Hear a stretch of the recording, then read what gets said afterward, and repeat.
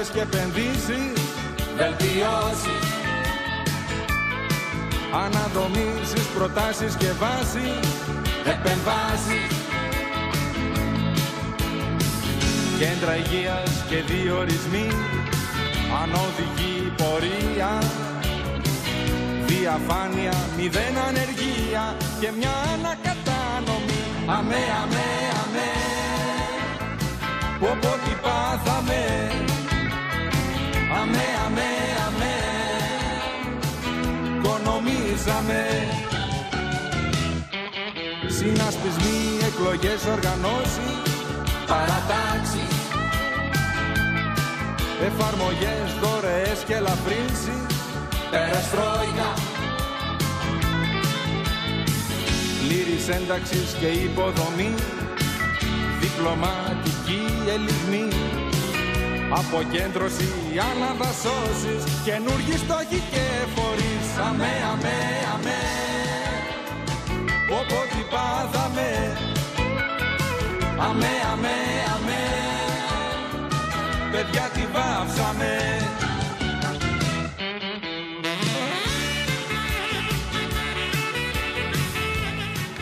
Κυρίε και κύριοι, καλημέρα σας. Καλή εβδομάδα. Καλή τελευταία προεκλογική εβδομάδα. Από ό,τι πάθαμε. Σωστά το λέει. Καλημέρα. Μιλιόκας, Μιλιόκας. Καλημέρα κύριε Γιάννη. Καλή εβδομάδα κυρίες και κύριοι. Εδώ είμαστε. Και εδώ Ωραία είμαστε. ήταν, ωραία. Ε, τι, ναι, εντάξει, έτσι θα πάμε τώρα. όλη την Α εβδομάδα τα θα πάμε προεκλογικά. Πες μου, Eurovision είδες; έτσι. Όχι. Δεν Δεν είδα Eurovision, όχι. Δεν είδα Eurovision. Μπάσκετ είδες; Μπάσκετ είδα. Α, μπάσκετ Eurovision είδες. δεν- Α, Eurovision Έχασε δεν- ότι το κουμπό. Ναι, ναι, ναι. ναι. Ε, Eurovision ήταν ωραία, θέλω να σου πω. Να ξεκινήσουμε από αυτά. Ναι. Μην πάμε από τα, πάλι τα προεκλογικά, θα στεναχωρηθούμε πάλι. θα στεναχω... Φίλε μου, να σε ρωτήσω κάτι τώρα. Ναι. Αφού δεν είναι Eurovision, τι να συζητήσω; Τι να συζητήσουμε, παίρνουμε το μένιο και την Πάμε, αυτή, ναι, πάμε, ναι.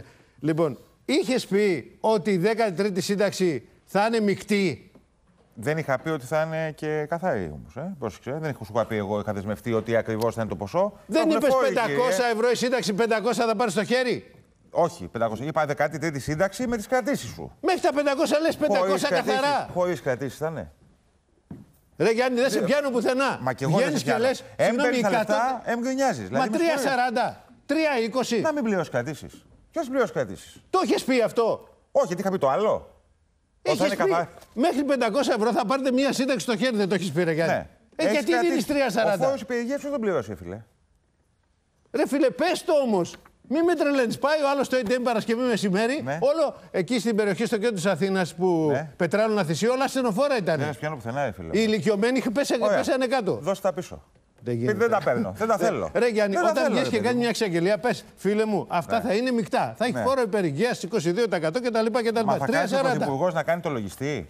3,40 μείον το 5%, μείον το 20, μείον το 22, Ε, στο κάνει ο ίσο Υπουργός, Δίπλα 250. 7 είχε, δίπλα, Ναι. δίπλα είχε 7.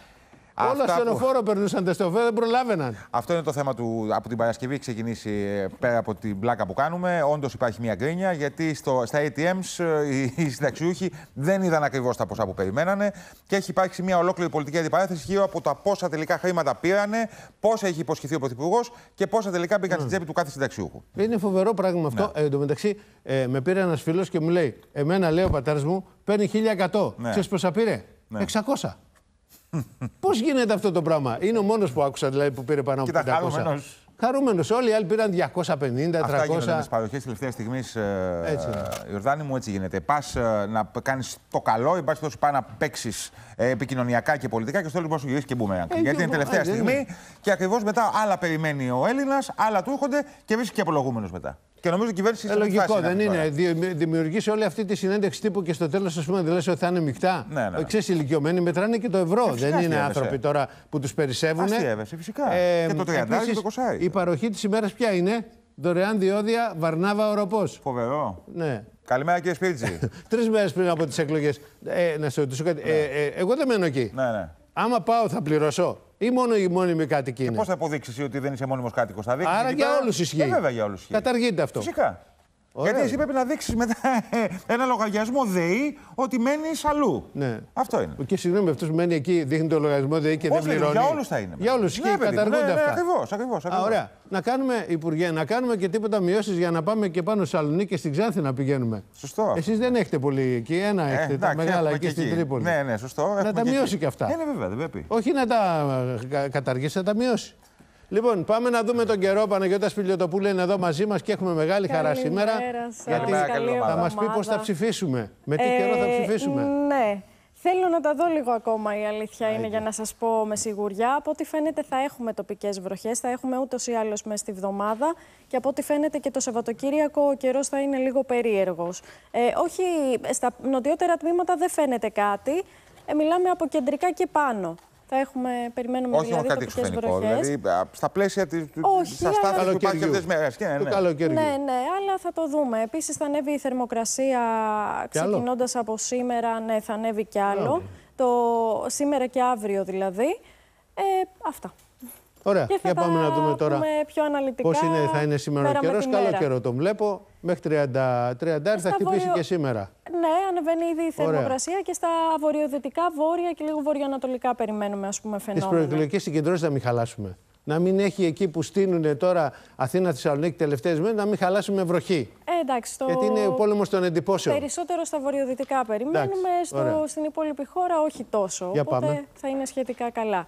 Καλημέρα κυρίες και κύριοι. Σε όλη τη χώρα θα έχουμε αραιές νεφώσεις σήμερα κατά διαστήματα πιο πυκνές και υπάρχει ε, και θα σημειωθούν λίγες τοπικές βροχές στα δυτικά και τα βόρεια ε, και βορειοανατολικά πιθανόν.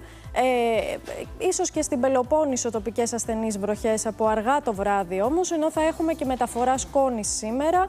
Η θερμοκρασία θα φτάσει στα βόρεια τους 26 τοπικά και 28 με 30 βαθμούς Κελσίου, στο Ιόνιο και τα δυτικά έως 25 με 27 τοπικά, στα υπόλοιπα υπηρετικά έως 28 με 30, πιθανόν να αγγίξει και τους 32 βαθμούς τοπικά, εκεί ε, κοντά στη, ε, στη Θεσσαλία, στο βόρειο και ανατολικό Αιγαίο έως 26 και στο νότιο Αιγαίο έως 27, ενώ στην Κρήτη η μέγιστη θα φτάσει και τους 30 με 32 βαθμούς Κελσίου τοπικά. Οι άνεμοι θα πνέουν στο Ιόνιο αρχικά μεταβλητή και από το μεσημέρι βόρειοι έως 4 τοπικά και 5 μποφόρ στο, στα πιο νότια τμήματα.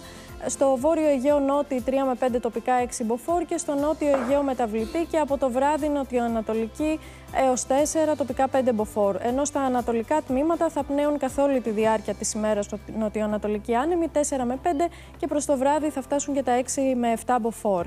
Ε, Στην Αττική γενικά έθριος καιρός με λίγη αραιή συννεφιά και μεταφορά σκόνης, θερμοκρασία έως 28 με 29 βαθμούς Κελσίου τοπικά και άνεμη νότια έως 4 μποφόρ και στη Θεσσαλονίκη γενικά έθριος με λίγη αραιή συννεφιά, πυκνότερη κατά διαστήματα, θερμοκρασία έως 25 τοπικά και 27 βαθμούς Κελσίου. Στο κέντρο βέβαια δεν αναμένεται να ξεπεράσει τους 24, 23-24 βαθμούς. Η άνεμη δυτική και από το μεσημέρι νότια 3 με 5 μποφόρ. Καλή συνέχεια. Ευχαριστώ πολύ. Ευχαριστούμε πάρα πολύ, Ευχαριστούμε, Παναγιώτα. Παναγιώτα και από Καλημέρα. την Παναγιώτα Σπιλιοτοπούλου. Η ώρα του με τις ειδήσεις σε ένα λεπτό. Εγώ, καλημέρα, καλή εβδομάδα. Καλημέρα, καλή Καλημέρα. εβδομάδα. Καλή σας ημέρα, κυρίες και κύριοι. Δεν έχουν τέλος οι προκλήσεις του Ταγί Περτογάν, ακόμα και ανήμερα των 100 ετών από τη γενοκτονία των Ελλήνων του Πόντου.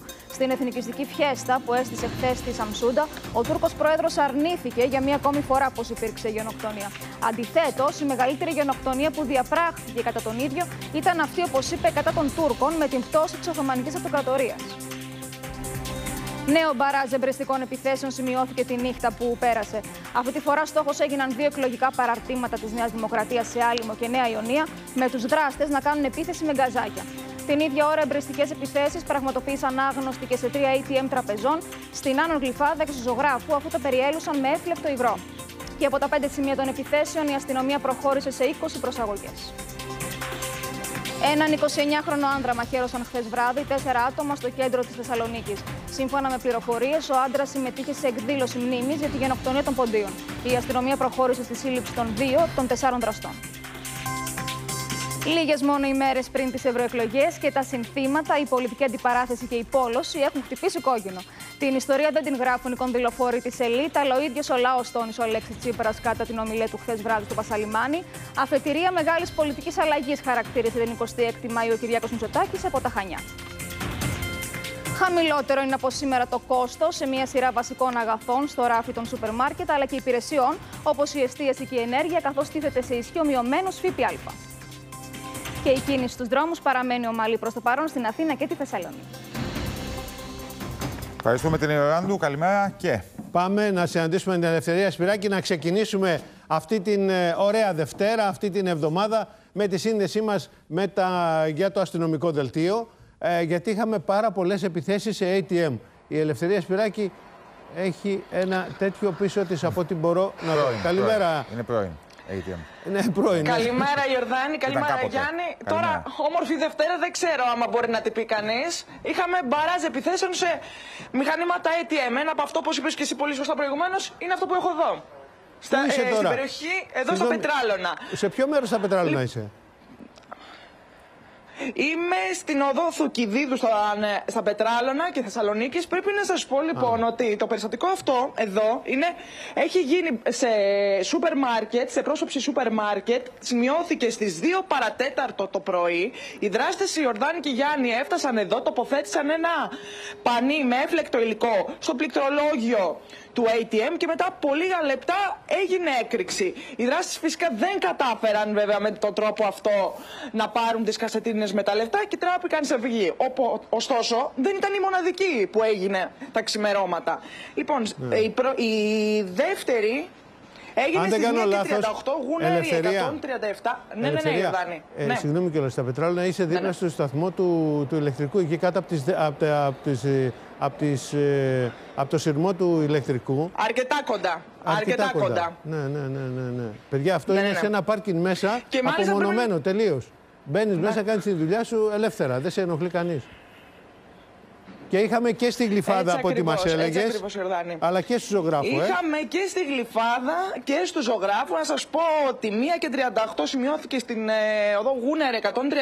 Μάλιστα ήτανε, έγινε σε δύο σημεία, σε δύο ATM υποκαταστήματος τράπεζας. Μετά από δύο λεπτά στη 1 και 40 έγινε Γούναρη και Ιθάκης πάλι σε υποκατάστημα τράπεζας, ενώ στις 3 η ώρα είχαμε ακόμα μία επίθεση στην ε, οδό Μούσκου Χαραλάμπους, στο ζωγράφο, όπου και εκεί πάλι δεν κατάφεραν οι δράστες να πάρουν τις κασετίνες με τα χρήματα. Πρέπει να σας πω όμως ότι επιθέσεις δεν είχαμε μόνο σε ATM, είχαμε και σε δύο γραφεία της Νέας Δημοκρατίας. Το ένα ήταν στην Νικηταρά, στην οδό Νικηταρά, στη Νέα Ιωνία, όπου εκεί προκάλεσαν οι δράστες ζημιές στον Ιαλοπίνακα και κατά τη διάρκεια της έρευνας της αστυνομίας πρέπει να σας πω ότι βρέθηκαν και υπολείμματα από γκαζάκια αλλά και από πιτόνι, ενώ ακόμη μία σημειώθηκε στις 1 και 40 στην Γρηγορίου Αυξεντίου στον Άλμο, πάλι σε γραφείο της Νέας Δημοκρατίας, όπου και εκεί κατά τη διάρκεια της έρευνας της αστυνομίας βρέθηκε πάλι μπιτόνι. Συνολικά για όλα αυτά τα περιστατικά που σας ανέφερα η Ορδάνη και η Γιάννη και για τα ATM αλλά και για τις επιθέσεις στα γραφεία της Νέας Δημοκρατίας έγιναν 20 προσαγωγές. Καμία 20. όμως σύλληψη. Μάλιστα, μάλιστα. Ωραία, Ελευθερία. Σε ευχαριστούμε πάρα πολύ. Καλημέρα. Καλή συνέχεια στο ρεπορτάζ. Καλημέρα σας στην ημέρα. Ελευθερία και πάμε πάρα πολύ γρήγορα στην α, Θεσσαλονίκη, εκεί όπου οι γρουσούζιδες άνθρωποι, Καλημέρα. μεταξύ των οποίων και ο Ιορδάνης Χρυσαπόπουλος, δεν αφήσανε να, α, α, τα βαγόνια σε ησυχία. Λέγανε γιατί πήγανε, όχι πήγανε και μετά τα βαγόνια τα κατέστρεψαν κάποιοι με γκράφιτι. Δεν τα κατέστρεψαν, ένα γκράφιτι κάνανε. Το οποίο δεν Θα ήταν, το και πολύ, καθαρίσουμε. δεν ήταν και πολύ. μ' Ε, άρεσε, δεν μ' καλά, άρεσε και πάρα δεν πολύ. έχει συνθήκη αυτό. Καλημέρα, Αναστασία. Καλημέρα, Hello δεν και τους στον κύριο άρεσε το πίσω. πλιάσπρο των βαγονιών από ό,τι φαίνεται. Με το πατίνι του. Ναι, ναι, Ε, ναι. δεν τους άρεσε το πλιάσπρο των βαγονιών, ήθελαν να τα κάνουν πολύχρωμα. Άγνωστοι λοιπόν κατάφεραν και μπήκαν μέσα στο μαξοστάσιο χθες τα ξημερώματα και από ό,τι βλέπετε και στις φωτογραφίες έβαψαν με γκράφιτι τα δύο από τα βαγόνια του σειρμού, έγραψαν και συνθήματα. Ε, πρέπει να μείναν αρκετή ώρα μέσα στο μαξοστάσιο, αν μπορούμε να α, καταλάβουμε από το μέγεθος του γκράφιτι. Αν και ο κύριος Μιλόπουλος μας είπε ότι εγκαίρως τους εντόπισαν οι άντρε ασφαλείας του μετρό. Εγκαίρως, Αυτοί ναι. Απομακρύνθηκαν, εξαφανίστηκαν.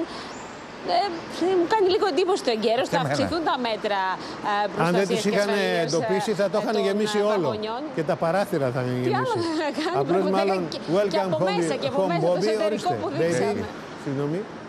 Ναι, αλλά η αλήθεια είναι αυτό είναι αφύλακτα εκεί πέρα. Ναι, προφανώς θα μιλάτε. Ε, αυτό γίνανε όλα αυτά. Και πώς τα πήραν Δεν τα είναι καινούργια. αφιλε- Όχι, δεν υπάρχει. Εμείς όταν προχθές πήγαμε για να βγάλουμε το στάνο που δείξαμε το ένα βαγόνι, ε, περάσαμε από αρκετούς άνδρες security. Ε, καλά, με- εσύ δώσαμε τα πήγες ονόματά μας. κανονικές Υπήρξε ώρες. μια Πήγες επίσημα διαδικασία. εσύ. Αυτοί Τώρα, εκεί δεν πήγαν και επίσημα. η- Και, και το βράδυ, και το βράδυ όμως φυλάσσονται, υπάρχει security. Φαίνεται εκείνη την ώρα μάλλον τους έπιασαν στον ύπνο. Τώρα θα αυξηθούν τα μέτρα ασφαλείας μας είπε ο κ. Μιλόπουλος. Θα καθαριστούν και τα βαγόνια. Δεν μπορούμε να τα δούμε έτσι. Όταν καθαριστούν τα βαγόνια μπορούμε να τα ξαναεπισκεφθούμε. Τώρα, Αυτά Αναστασία, λοιπόν έγιναν όσον ε, ήθελα να σε αφορά ρωτήσω, είχαμε ένα το μετρό σοβαρό της περιστατικό, είχαμε ένα Κοσμοπολίας. σοβαρό περιστατικό εχθές που τέσσερα άτομα κυνήγησαν έναν, έναν 29χρονο και ουσιαστικά τον πέτυχαν, λέει, μέσα ένα πρακτορείο ΠΑΠ και το μαχαίρωσαν. Μετά, μετά το τέλος ε, της πορείας ε, για τη μνήμη των 100 χρόνων από την γενοκτονία των Ποντίων, ένας 29χρονος λοιπόν ήταν στο ύψος, στην πλατεία Αριστοτέλους στο ύψος αρχαίας αγοράς. Τον κυνήγησαν τέσσερις άγνωστοι. Εκείνος έτρεξε, διέσχισε όλο το μήκος της πλατείας μέχρι και την Εγνατία. Κατάφερε να μπει μέσα στο πρακτορείο. Εκείνοι όμως δεν δίστασαν. Ε, τον κυνήγησαν μέσα στο πρακτορείο, του επιτέθηκαν με μαχαίρι ε, και τον χτύπησαν, τον μαχαίρωσαν ε, τέσσερις φορές, τρεις στην πλάτη και μία στο χέρι. Μεταφέρθηκε στο νοσοκομείο. Ευτυχώς τα τραύματα είναι ελαφρά.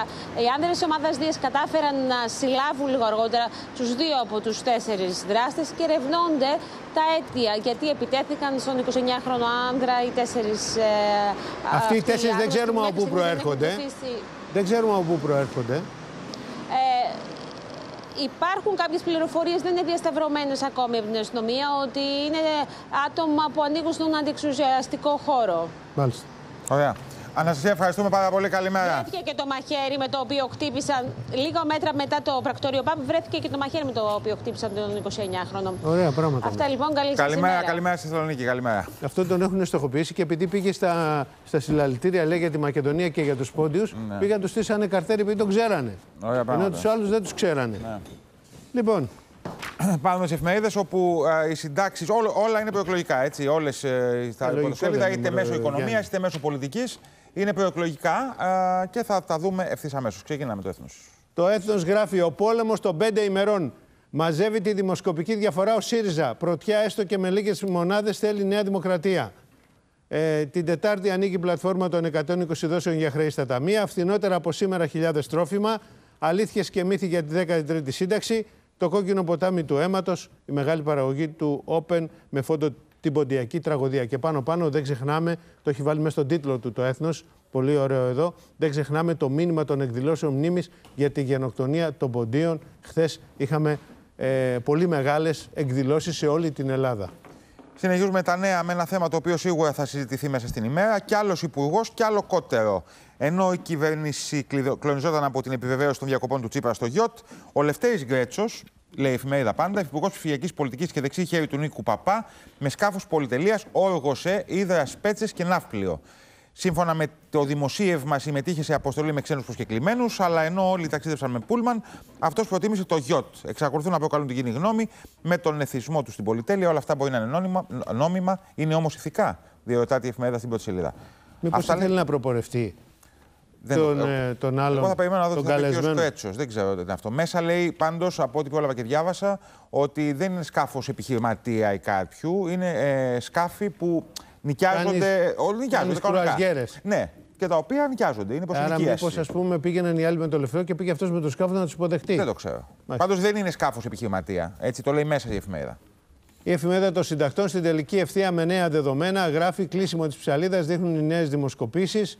Τσίπρας από τον Πειραιά. Κάποιοι στείλουν παράγκα δημοσκοπήσεων. Ποιος θα κυβερνά, θα, ε, θα, θα το αποφασίσει ο ελληνικός λαός, όχι οι δημοσκόποι. Μητσοτάκης από τα Χανιά, οι ευρωεκλογές θα αποτελέσουν το μεγάλο ξεκίνημα για την πολιτική αλλαγή. Δεν υπάρχει περιθώριο χαλαρής ψήφου, γράφει η εφημερίδα. Συνεχίζουμε γρήγορα με τον ελεύθερο τύπο. Η χώρα σε ομοιρία Κουφοντίνα και Μπαχαλάκηδων. Αύριο η απόφαση του Αριού Πάγου για την άδεια του δολοφόνου της 17 Νοέμβρη στην Πρωτοσέλιδα. Δεύτερο θέμα, εξοργισμένη συνταξιούχη για την κοροϊδία με το κουρεμένο δώρο κάλπης.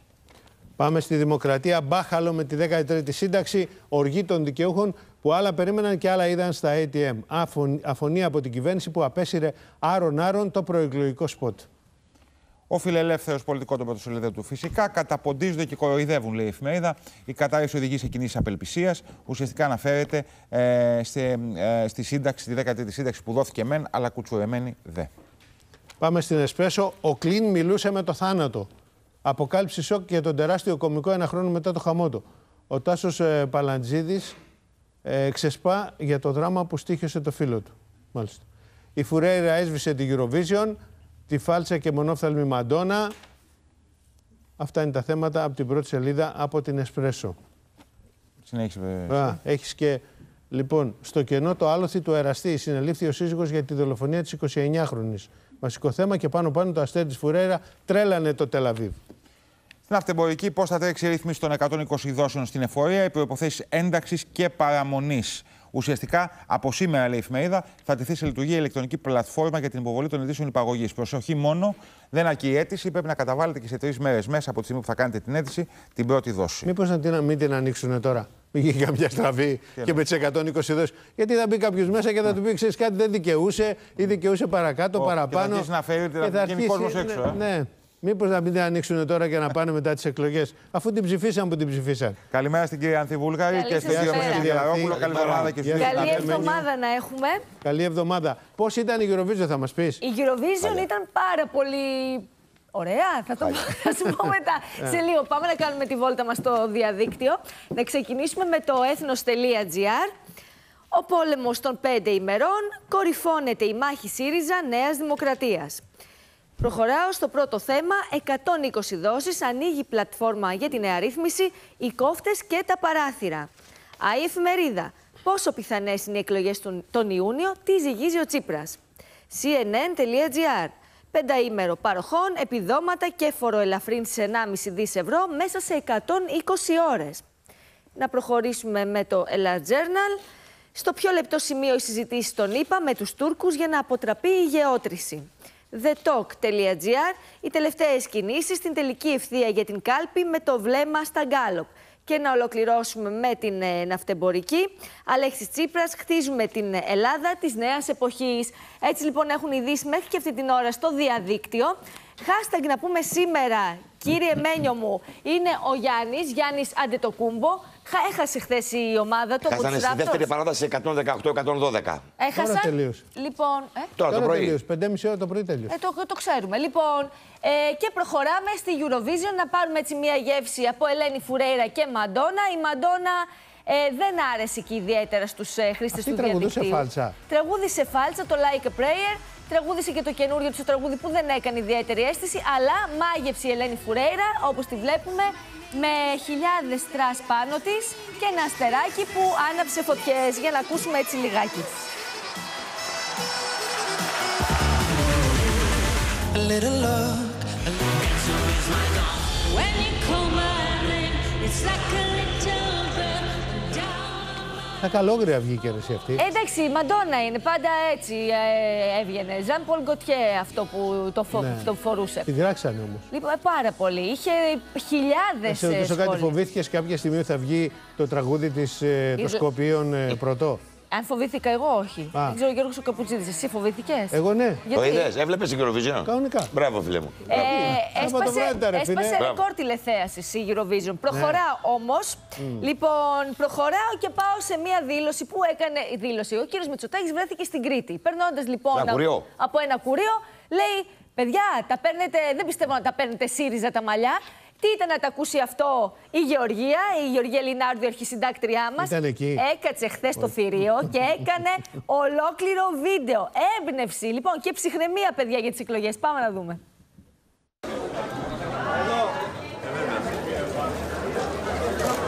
Πιστεύω να τα παίρνετε ΣΥΡΙΖΑ. Γεια σας. ΣΥΡΙΖΑ μωρό μου ΣΥΡΙΖΑ Πέρασες μπροστά μου μα δεν γύρισα ΣΥΡΙΖΑ μωρό μου με διάκοσα Είσαι ακόμα μία συνίστοσα Με ενδιαφέρει η επικοινωνία και όχι η ουσία.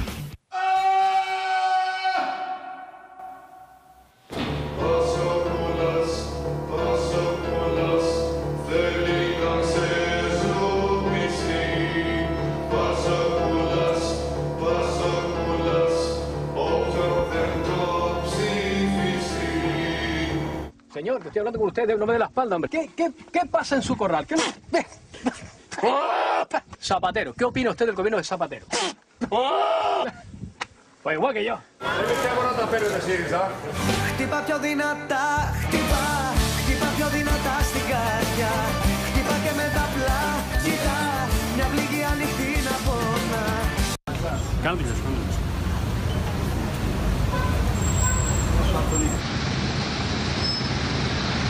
Καλημέρα, κούκλα. ΣΥΡΙΖΑ μωρό μου ΣΥΡΙΖΑ Πέρασες μπροστά μου μα δεν γύρισα ΣΥΡΙΖΑ μωρό μου με διάκοσα Είσαι ακόμα μία συνίστοσα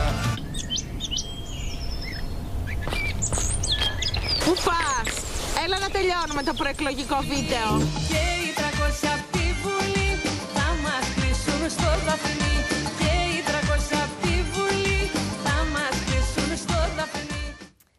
Λοιπόν, Ωραία, ωραία, ωραία. Θεά, Η διαφορά δεν κάνουν τα τραγούδια. Εννοείται και άμα έχεις έμπνευση, ευτυχώς που έχουμε πολιτικούς που μας δίνουν έμπνευση, ρε παιδί Σωστό μου. είναι, Αυτό είναι σωστό το είναι, θέμα. σωστό είναι. Λοιπόν, και επειδή έχουμε μιλήσει πάρα πολύ για το Μάμα που έχει κάνει 18 με 20 εκατομμύρια προβολές στο τραγούδι του Συμπόη και του Υποχθόνιου, θέλω να σας πω ότι ο Υποχθόνιο θα είναι εδώ. Τον συνάντησα, μας μίλησε. Μας έχει μιλήσει και για το τραγούδι, αλλά και για όλο το κλίμα των εκλογών. Έχει ε, πολιτικό σχόλιο. Πάμε να δούμε τι κάναμε εμείς την Παρασκευή που συναντηθήκαμε. Λοιπόν, εδώ με τον Ήπο, Gang, gang. 200 στροφή; Με ρωτάνε η μαμά. Μπορούμε να τραγουδήσουμε λίγο μαζί. Πάμε. 200 μαμά. Όχι, δεν είναι μαμά. Nice. Έρχεται. Λοιπόν, Ήπο, έρχεται. Μέσα στις επόμενες μέρες θα τον έχουμε κοντά μας. Γιάννης, είσαι έτοιμο. Σε βλέπω αμπίλητο. Μια Έχει- χαρά, έχεις, ε, παρακολουθώ, παρακολουθώ. Έχεις σοκαριστεί, Ναι, φαντάζομαι. λίγο, λίγο, ναι, Έχεις- με τον ύπο, ναι, λίγο. Λοιπόν, ε, πού πάμε, Γεωργία, πού πάμε, πού πάμε, είπαμε; Βόλτα. Πάμε, πάμε να δούμε λοιπόν φωτογραφίες των τηλεθεατών μας. Λοιπόν, γιατί είπαμε ότι κάθε μέρα θα έχουμε φωτογραφίες τηλεθεατών, έτσι; Από τα ευτράπελα των ε, δημοτικών και ευρωεκλογών. Ε, από τα, όχι από τα Όχι ευτράπελα, από, το, από πού είναι, ρε παιδί μου. Ας Δεν ζητάμε περιοχές, κάθε ναι. μέρα Ναι, από τις ωραία, περιοχές ωραία, τους. ωραία. Για Και πες. ξέρεις τι μου αρέσει που μας στέλνουν και μέσα στο Σαββατοκύριακο. Βέβαια, μισό λεπτάκι πριν πάμε σε αυτό, Δεν θέλω να υπάρχει σας αυτό, δεν δώσω υπάρχει. φωτογραφίες υποψηφίων. Δες, δες λοιπόν, αυτό. κοιτάξτε εδώ. Ποιο; Κωνσταντίνος Ιδραίος. Δεν είμαι, ο υποψη... δεν είμαι υποψήφιος δημοτικός σύμβουλος. Κάνω τόστ, καφέδες, μπαγκέτες και κρέπες. Delivery στα εκλογικά κέντρα και από κάτω το τηλέφωνο. Πολύ Αυτή ωραίο. λοιπόν είναι κάρτα. Άλλο. Ε, Ανδρέας Αυτό είναι το Πίτσιος. μυθικό, παιδιά. Λοιπόν, γαμπρός του Κανοτίδη Γεώργιου και της ε, Τσιλοφίτου Κατερίνας. Είναι γαμπρός ο κύριος. Αυτός είναι αστυνομικός, ο οποίος στην κάρτα του βάζει ότι είμαι ο γαμπρός του Γιάννη Σαραντάκου Ναι, ναι, ναι, και ναι. της Ελένης Φουρέιρας. ας πούμε. ιδιότητα, ρε Το παιδί βάζει μου. στην κάρτα του. Υποψήφιος που βάζει, να πάμε να το ψηφίσουμε. Να, κάτσε. Λα, στη Λάρισα. Στη Λάρισα. Στη Λάρισα, μπροστά. Ανδρέας Ο κύριος- Είναι προφανές ότι η οικογένεια της συζύγου Ναι, είναι, είναι πιο δυνατή. δημοφιλή από τον ίδιο τον υποψήφιο. Ναι. Λοιπόν, Είναι προφανές καταλαβαίνω. Είναι αυτό. μεγάλο σόι. Ή μεγάλο Είναι ή μεγάλος κρατάει το σόι. χωριό εδώ τώρα. ναι, ρε, Κατάλαβες, μεγάλος αυτό σόι. γίνεται. Λοιπόν, ε, και εδώ η απόλυτη, η απόλυτη κάρτα υποψήφιας. Ε, παιδιά, φέρτε τη λίγο πιο κοντά, δεν βλέπω πάρα πολύ καλά. Φτιάχνουμε την πόλη όπου θέλουμε να ζούμε. Η κυρία Βακυρτζή Καρλίτος έχει κάνει μια καρτούλα έτσι κόκκινη με πολλά αστεράκια. Ξάνθη. Πού Θα βάζει μπορούσε αυτή; να- Στην Ξάνθη. Στην Ξάνθη. Θα Με ποιον μπορούσε βάζει να είναι- αυτή; Στην Ξάνθη. Πώς; Με ποιον βάζει; Ε, μα να ρωτάς. Ξάνθησity.gr. Έλα, ρε, παιδιά. Καρλίτος από πού είναι, από Καρλίτος. Βραζιλία Δεν μας. ξέρω. Βραζιλία, Έχετε Ουρουγουάι. Βραζιλία. Αλεξάνδρα, λέει Καρλίτος. Καρλίτος. Βραζιλιάδε Βραζιλία. και στην Ξάνθη. Ναι, λοιπόν, βέβαια, ναι. και πάμε με το τελευταίο. Είναι κάποιοι που πιστεύουν πιο πολύ στο Θεό και έχουν ε, αφήσει εκεί τις. Ε, ε, Πώς το λένε, τις ελπίδες Παράκληση στην Παναγία. στην Παναγία για υποψηφίου ευρωεκλογών δημοτικών ε, περιφερειακών την Κυριακή 19 Μαου στην Χτες το απόγευμα. ώρα 7 το απόγευμα. Σε ποια εκκλησία Στην, είναι ε, αυτή στον να πάμε; ιερό ναό Κοιμήσεω Θεοτόκου Άνου Καλαμακίου. Εδώ. Αυτό καλά λοιπόν, μάλιστα, ωραία. γίνονται Είδες ο αυτά. παπάς. Όσοι πιστοί προσέλθετε. Έτσι, αυτό, Να κάνουμε λοιπόν. μια παράκληση. Να βγάλουμε και ένα αντίδωρο. Λοιπόν, πώς; δεν ακούω, γιατί με- μου μιλάτε Δεν όλοι ακούει, το δεν αυτό. βλέπει. λοιπόν, Ράι, Σήμερα είσαι ασυντόνιστη. Λοιπόν, εδώ λέει, αισθάνεσαι celebrity, ψήφισε celebrity, ψήφισε το Σότο από το, ε, που λέει, από, από το ΑΣΑ. λοιπόν, Ράιαν Γκόσλινγκ και ο Σότος ε, δίπλα. Καμία σχέση. Εντάξει, Όπως τώρα- αισθάνεσαι, ψηφίζεις. Ποια η, όπως αισθάνεσαι. η ομοιότητα, εγώ δεν βλέπω καμία ομοιότητα, αλλά εντάξει, Ε, όπως αισθάνεται ο αισθάνεσαι καθένας. Γεωργούλη, ψηφίζεις Ναι, Γεωργούλη. εννοείται. Αισθάνεσαι Σότο, Ναι. ψηφίζεις Αισθάνομαι Σότο. εγώ Μόνικα Μπελούτσι, ψηφίζω Μόνικα Μπελούτσι. Εντάξει, οκ. Και μετά από τους ε, υποψήφιους, καλή τύχη να ευχηθούμε. Θα έχουν. Μπράβο. Θέλω να πιστεύω. Πάμε να δούμε επιτέλους και τις φωτογραφίες των τηλεθεατών μας. Για να δούμε. Λοιπόν, η κυρία Ελένη πρώτα από το Σουφλί μας έστειλε μεταξοσκόλικε από το Μουσείο Τέχνης ε, Μεταξιού στο Σουφλί. Ε, θα το δούμε σε λιγάκι. Έρχεται; Έλα, έλα, έλα, Βάνια, για φέρτινα. Λοιπόν, νάτι, νάτι μεταξοσκόλικε μας. Ρε, φέρε κανένα γραβάτα, ρε, τι μεταξοσκόλικες. Μεταξοσκόλικε από το σουφλί. Έτσι, παιδιά, βγαίνει το μετάξι, ναι, ναι, ναι. το ξέρετε. Φοβερό, φοβερό. Εγώ πρώτη φορά την είχα δει την εικόνα και είναι φανταστική. Ευχαριστούμε την κυρία Ελένη. Και για να μην κάνω λάθος, να πούμε την καλημέρα μας στο 16χρονο φίλο μας τον Λάουρεν. Μου είπε να το τονίσω αυτό, ο οποίος είναι λάτρης των φωτογραφιών. Μας έβγαλε μια ωραία φωτογραφία του Σαββατοκύριακου που είχε συννεφιά, μια ρομαντική φωτογραφία. Την καλημέρα μας. Καλή εβδομάδα να έχεις στο σχολείο. Αυτά Ωραία. από μένα. Να να πούμε και μια καλημέρα τώρα που το λες στα μηνύματα που μας στείλανε. Ναι. Σήμερα γιορτάζει ένα χωριό το Ναι. οποίο είναι πολύ μακριά. Πού; Είναι στα σύνορα με την Αλβανία, Υπογονιανή. Αλήθεια. Ιωαννίνων. Και είναι Ιωαννίνων. ο Άγιος Νικόλαος Ναι. που γιορτάζει σήμερα. Να Χρόνια πούμε χρόνια πολλά. πολλά. Αν μας βλέπουν πολλά. εδώ, ο φίλος μας είναι από εκεί. Χρόνια πολλά. Χρόνια πολλά. πολλά στο χωριό. Χρόνια πολλά. Λοιπόν, κύριε Μένιο, έχασε Στο, ο... στο προεκλογικό κλίμα του Αντιτοκούμπο που λέγαμε, έχασε εντάξει, δεν τρέχει και τίποτα. 2-1 πήγε το 2-1. σκορ. Ε, η- ο Δήμος είναι Ραφίνας Πικερμίου; Ο Βεβαίως, κύριε. υποψήφιος δήμαρχος είπε λοιπόν. Προς την ένας- απείς, γιατί είναι από εκεί; Ναι, παιδί μου, είπε λοιπόν ότι ο Γιάννης ε, του ανακοίνωσε Ο Αντετοκούμπο ότι θα, και εσύ. φτιάξει, Ναι, ναι. ότι θα φτιάξει γήπεδο μπάσκετ στο μπλε λιμανάκι, στο αστυνομικό τμήμα κοντά, για τα θύματα ε, στο μάτι. Ε, Ο κύριος Μπουρνούς το είπε αυτό. Ναι. Ο κύριος Μπουρνούς. Ναι, παιδί μου, δεν του ξέρω εγώ τους υποψήφιους ανθρώπους. Ο νυν δήμαρχος και εκ νέου υποψήφιος. Και υποψήφιος, ναι. Ακριβώς. Και αποθεώθηκε από κάτω, χειροκροτήματα, μπράβο Γιάννη κλπ. Ωραίο κλπ. είναι αυτό. Γιατί; Πολύ ωραίο. Τι, Να γίνει το γήπεδο. να γίνει το Είναι γήπεδο, κακό. ναι. Και εκεί η Ναι. περιοχή είναι στο κέντρο της Α μην το εντάσσουμε όμως προεκλογικά έτσι όλα τα Ε, θέματα φίλε, είχε προεκλογικά. και αυτός κάτι να πει. Ήταν από πέρυσι μένει αυτό ή το είχαν πει. Ναι, αλλά όταν το είπε έγινε χθες το η βράδυ, πρωτοβουλία. λέμε. Χθες το βράδυ. Ε, το είπε χθες το βράδυ, αλλά ισχύει, είναι από πέρυσι. Το είχε πει ισχύει ότι το αυτό. Κούμπο ότι θα το κάνει από είχε, πέρυσι. είχε πει έτσι, είχαμε μάθει ότι θα έφτιαχνε ένα γήπεδο για τα παιδιά ε, στο μάτι. Μπράβο. Καλό λοιπόν, είναι αυτό, καλή κίνηση. ε, εδώ δήμα απικιακά. Εδώ δεν πάμε καλά στο μπάσκετ, τα γνωστά. Σήμερα, μάλλον, θα έχουμε την ιστορική μέρα του υποφασισμού του Ολυμπιακού που είπε ότι δεν θα κατέβει στο παιχνίδι με τον Παναθηναϊκό. Άρα, λοιπόν, ο- σύμφωνα με τον κανονισμό, πάει στην Α2. Και ενώ εδώ σκοτωνόμαστε, κάνουμε δηλώσεις, τρογόμαστε. Ελληνόπουλα στο εξωτερικό θριαμβεύουν. Πρώτος Δημήτρης Ιτούδης, προπονητής Τσεσεκά. Πάμε λοιπόν να δούμε το χθεσινό μεγάλο τελικό. ξενοδοχείο που δεν το γνωρίζει η Ανθή, το γνωρίζει ο Ιορδάνη Χασαπόπουλος. Άρα έχουμε και την υπογραφή του Ιορδάνη Χασαπόπουλου. Μπορείτε να σπεύσετε να συμμετάσχετε στο διαγωνισμό, διότι τελειώνει την Παρασκευή ο διαγωνισμός αυτός. Επίσης, πρέπει να σας πούμε ότι η προσφορά περιλαμβάνει εκτός από την ημιδιατροφή, εκτός τη διαμονή, καλά, δεν το συζητάμε αυτό, ε, την ημιδιατροφή στο εστιατόριο Dolly's Restaurant Bar ε, και τα ακτοπλοϊκά εισιτήρια από την ε, Fast Ferries με τα πλοία της Θεολόγος και Fast Ferries Άνδρος που αναχωρούν καθημερινά από Ραφίνα για Άνδρο, Τίνο και Μύκονο. Λοιπόν, α, τα έχετε όλα πληρωμένα. Διαμονή, ημιδιατροφή και το πηγενέλα ακτοπλοϊκός.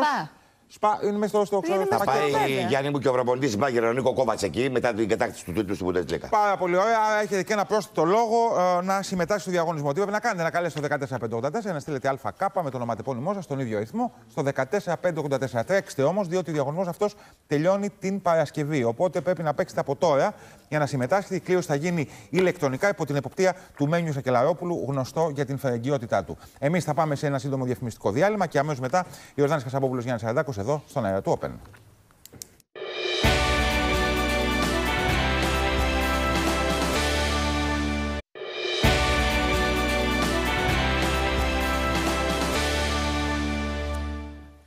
Εδώ είμαστε. Καλή εβδομάδα να έχουμε κυρίες και κύριοι. Δευτέρα σήμερα 20 Μαου. Μπαίνουμε στην τελική ευθεία και για τις παροχές και για τις εκλογές. 8 παρατέταρτο πήγε η ώρα και βέβαια δεν υπάρχουν καλύτεροι έτσι συνομιλητές από συναδέλφους αγαπητούς για να δούμε την επικαιρότητα. Γιάννης Αντίπας, καλημέρα Γιάννη μου. Καλημέρα, καλή εβδομάδα. Καλώς ήρθες. Ε, Φίβος Κλαβιανός, καλημέρα Φίβο. Καλημέρα, καλημέρα. Καλημέρα, Φίβο. Και ο Σπύρος ο Δημητρέλης, ο οποίος θα μας εξηγήσει τι έγινε το Σαββατοκύριακο με το θέμα των συντάξεων. Καλημέρα, Σπύρο. Καλημέρα Σε σας. κοιτάει Καλημέρα, φυλακτικά, κύριε Σπύρο. με, με, σε κοιτάει έτοιμος. Από την Παρασκευή. Δεν φοβάται τίποτα. Φοβάται. Παρασκευή Φοβάται. απόγευμα. Δεν νομίζω. Τα είχε πει. Ε, Σπύρο μου, συγγνώμη, να, θα ξεκινήσουμε με τους αγαπητούς συνάδελφους. Ε, το λέγαμε με τον Γιάννη το πρωί. Είχαμε πει για μεικτά, κυρίε. Ότι θα είναι μεικτά. Η μία σύνταξη μέχρι 500 ευρώ θα είναι μεικτά, το είχαμε πει. Εντάξει, Το ότι δημιουργήθηκαν προσδοκίες ότι αυτό το ποσό που θα δοθεί θα είναι αφορολόγητο, ακατάσχετο ή δεν ξέρω και εγώ τι, δεν ξέρω ποιος ευθύνεται. Πάντως αυτό, εφόσον το ονομάστηκε 13η σύνταξη, η τακτική αποδοχή των συνταξιούχων, φόροι, εισφορές, τα πάντα επάνω. Οπότε, Το είχατε πει αυτό; ποιος να το πει Οι αυτό; υπουργοί, κύριε. Οι υπουργοί είχαν πει ότι είναι 13η σύνταξη, δεν είχαν πει; Ναι, ότι είναι καθαρό Ε, μέχρι σύνταξη. 500 ευρώ. Δεν Φίβο, είναι το είχαν επίδομα. πει αυτό. Δεν είναι επίδομα. Όχι, το, ε, δεν ξέρω, η κριτική μπορεί να γίνει αν το είχαν τονίσει αρκετά, αλλά δεν το είχε κρύψει κανένας. Το είχαν προ, το είχαν Δεν το πει- έχει ακούσει εσύ ότι θα έχει φορολογία Ναι. 6% και 22. Ποιο το αυτονόητο. Ναι, και, και η, η, Καλά, ρε Σπύρο, με συγχωρείς, εμείς ξέραμε μέχρι 500 ευρώ ότι θα είναι 500 ευρώ να πάρουμε. οι περισσότεροι. Όχι τα 500 Αυτό είναι γίνονται επίδομα. 340. Αυτό είναι επίδομα τότε. Τότε είναι επίδομα. Είναι οι αν περισσότεροι πίσω- συνταξιού και εμένα, ο Ακριβώς. πατέρας μου και η μάνα μου έτσι το περίμεναν ακριβώς. Και, Προσθέθηκε και άλλου που σε είχαν αυτό. μιλήσει. Εντάξει, πάντως εμείς δεχτήκαμε πάρα πολλά τηλεφωνήματα και Ναι, να πούμε στους ισχύει φίλους τηλεθεατές, αν έχουν και αυτοί κάποιες διαφορές και ε, μ, δεν, υπολο... όπως, δεν είναι όπως τα υπολογίζαν, μπορεί να επικοινωνούν μαζί μας στο 211-212. Τα βλέπετε τα τηλέφωνα 2146 και 211-212-2304. Αλλά αυτό όμως πολιτικά πιστεύω δεν αλλάζει τα πράγματα. Ε, Τι θέλω να πω. Κανείς δεν ισχυρίζεται ότι επειδή ένας συνταξιούχος θα πάρει 200 ή 400 ή 300 ευρώ θα αλλάξει αυτό που θα ψηφίσει στις ευρωεκλογές ή στις βουλευτικές εκλογές. Αυτό που ο Πρωθυπουργός θέλει να δείξει, η κυβέρνηση, είναι ότι πλέον υπάρχει δυνατότητα κάθε χρόνο να δίνει κάτι πίσω στην οικονομία και στην κοινωνία. Αυτό δεν άρεται παρόλο το ότι είναι μεικτά. Ναι. Και γιατί το έδωσε δύο μέρες πριν τις εκλογές και το δίνει δύο μέρες μετά τις εκλογές. Και, Αφού δεν και, επηρεάζει. και τα μέτρα της ΔΕΘ τα έδωσε το πρώτο εξάμεινο σε όλη τη διάρκεια.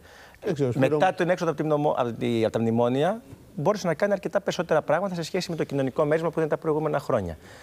Από εκεί και πέρα, λογικό δεν είναι ότι θέλει να κερδίσει και τις εκλογές. Παράλογο είναι. Καλά.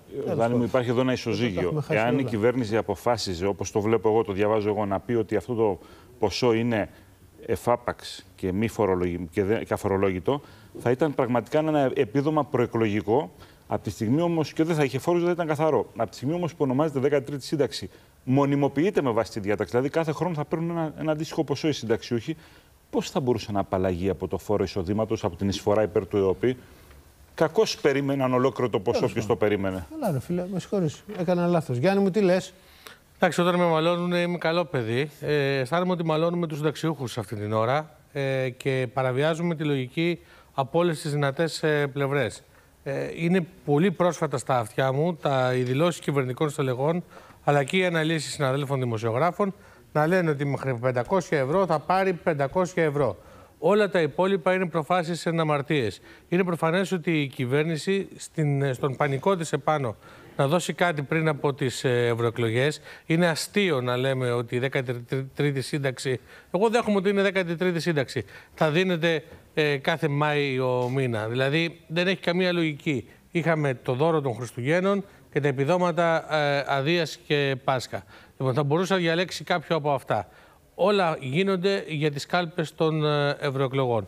Θα δούμε πόσοι ε, συνταξιούχοι θα εξαπατηθούν και θα στηρίξουν ε, αυτή την κυβέρνηση, η οποία, το, η οποία το μόνο που κάνει τα τελευταία τέσσερα χρόνια είναι να τους ε, κοροϊδεύει με κορυφαίο, κατά τη γνώμη μου, ε, ραντεβού το κόψιμο του ΕΚΑΣ.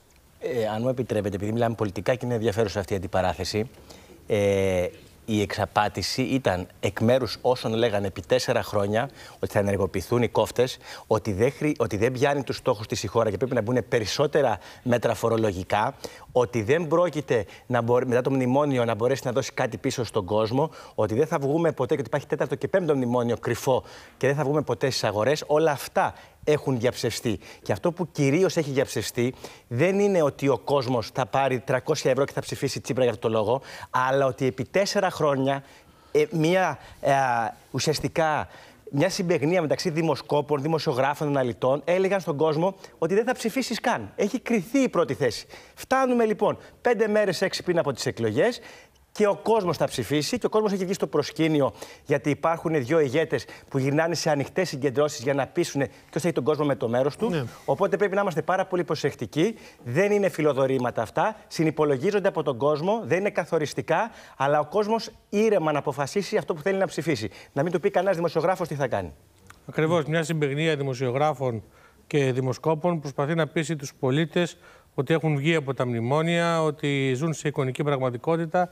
Άρα οι πολίτες θα πρέπει να κλείσουν τα αυτιά τους σε αυτή τη συμπεγνία Οι δημοσκόποι δημοσκόπων και πότε το δείξανε; δημοσιογράφων που περιγράφουν μια εικονική πραγματικότητα και να ψηφίσουν με βάση την πραγματικότητα στη ζωή τους. Ποιος δημοσκόπος ποτέ έδειξε ότι Ελάτε. αυτή η κυβέρνηση είναι. Κάμια τριανταριά δείχνουν ότι ε, μειώνονται οι... όλο τυχαίω τώρα οι δημοσκοπήσει. Η εφημερίδα που δουλεύει στο ίδιο έκανε, Γιάννη. Κοντός Η εφημερίδα- φθαλμό. όλες οι εφημερίδες. Εγώ, δεν- εγώ δεν είμαι εκπρόσωπος εδώ κα- κανενός. Αν εσύ αισθάνεσαι εκπρόσωπος του ΣΥΡΙΖΑ, δεν φταίω εγώ. Λοιπόν, δεν έχω τέτοιο πρόβλημα. Ναι, ναι, αλλά εμένα- σου λέω- ε, ε, εγώ- Προφανώς εγώ- δεν έχεις πρόβλημα. Εγώ ενοχλούμε. Απλώς σου λέω- εγώ ενοχλούμε Σου λέω, σου λέω το να- κοντός φθαλμό, αλληλούια. Το ότι υπήρξε ένας κόσμος που επί τέσσερα χρόνια βομβαρδίζονταν με το ότι δεν έχει νόημα η ψήφος του. Ότι η θα ψήφος σκίσουμε του τα έχει μνημόνια. Πολύ μεγάλο... Όχι, θα το κρίνει ναι. ο κόσμος, δεν το κρίνουμε εσύ και εγώ. Ναι, μα προφανώς, Πάμε γιατί στο είμαι- Φάνη. και είμαι στήμα. 3,5% Ε, η επιτόκιο. κουβέντα θα πάει- Ποιος είναι. Ο Φάνης είναι ο Φάνης είναι Φάνης άλλο, άλλο Καραμαζάκης. θέμα είναι αυτό. Έλα. Για ολοκληρώστε, ναι. 3,5% το αν θα σκίζαμε τα μνημόνια είναι ένα θέμα. Αλλά το 3,5% Σοβαρό επιτόκιο όμως, ε. είναι από 6 μήνες.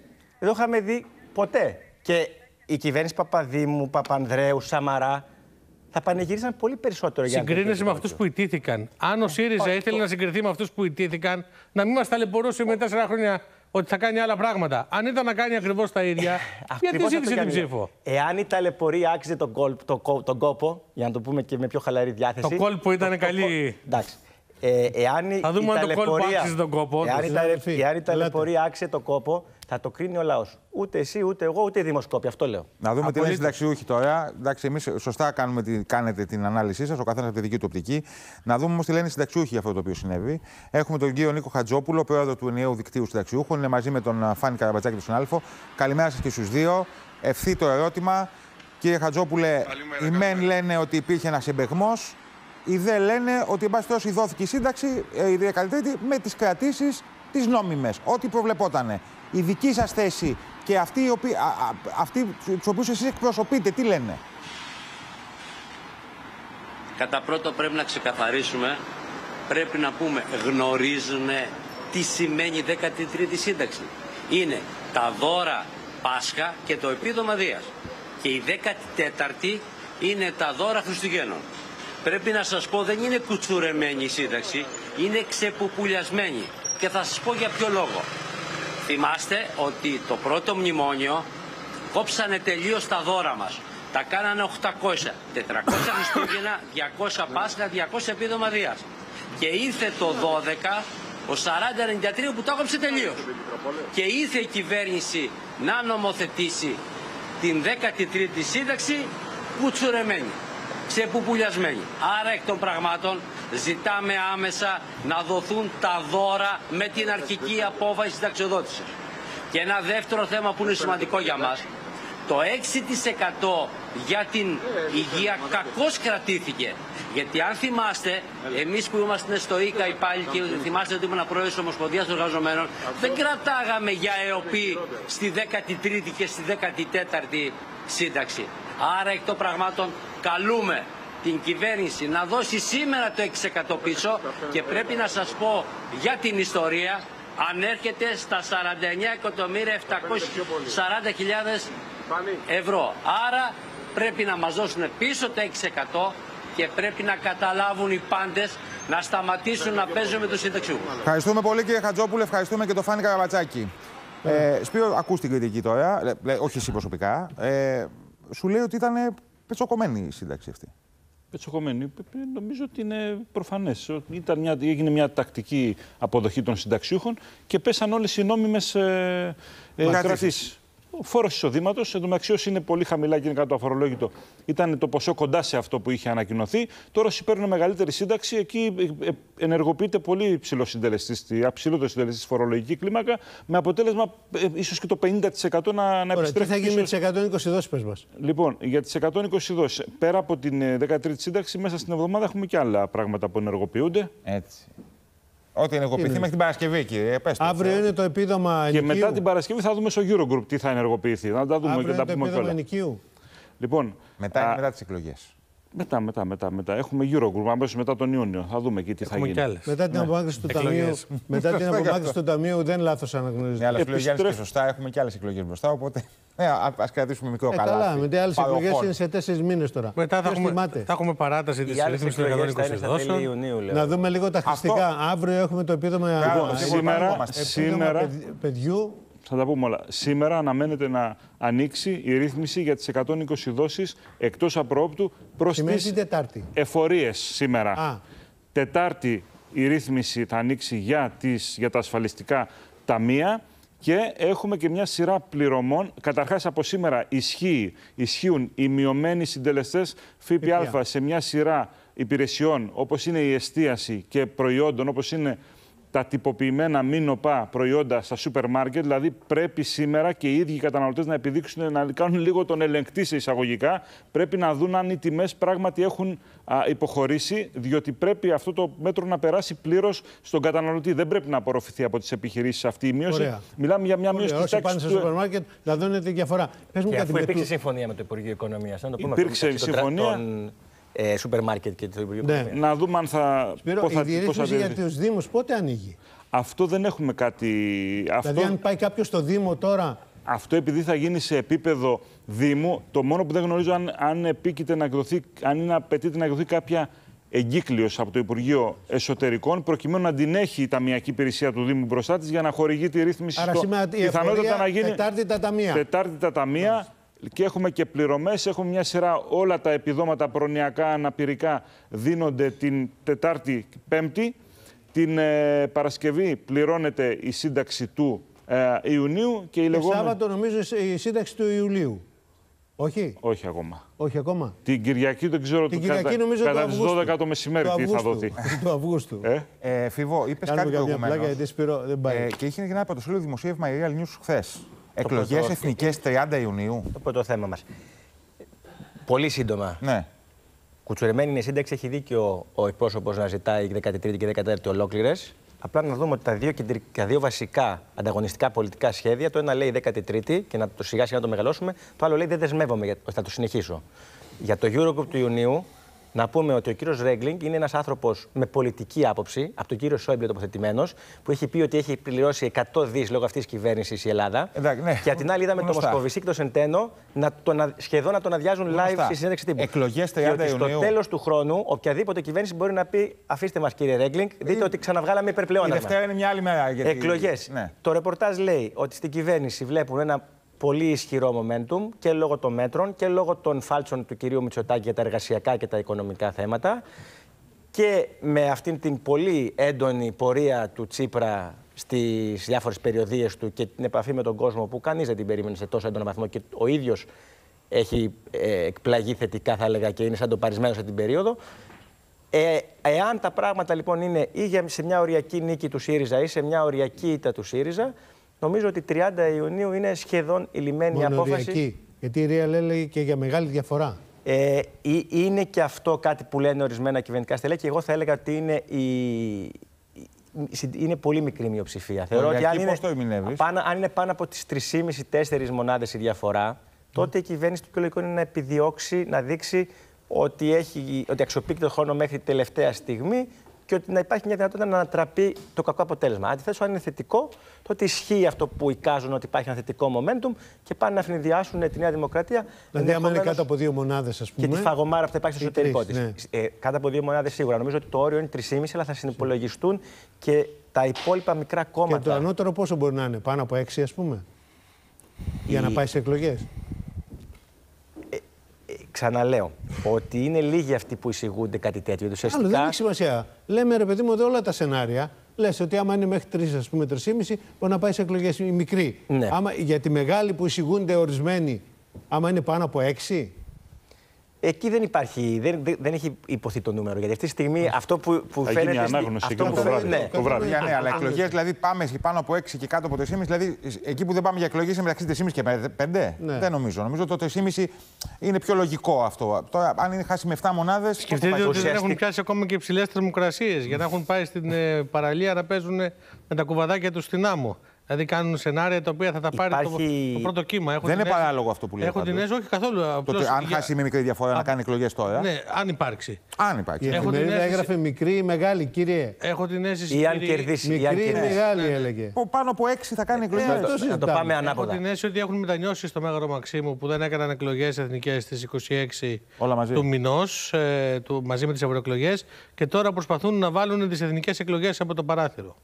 Λες ότι είναι πιθανόν μέσα Είναι- τον Ιούνιο να γίνουνε; Ε, η δική μου εκτίμηση είναι ότι ε, επειδή λογικά η διαφορά με βάση αυτά που βλέπουμε στις δημοσκοπήσεις, όλες οι δημοσκοπήσεις λένε ακόμα και πιο αισιόδοξες, ότι θα είναι πάνω από 6-7 μονάδες η διαφορά. Άρα λοιπόν πηγαίνουμε στο σενάριο που η κυβέρνηση ή θα πρέπει να υποβάλει την παρέτησή της ή θα πρέπει να, να λέει ότι δεν μας φτύνουν, αλλά βρέχει.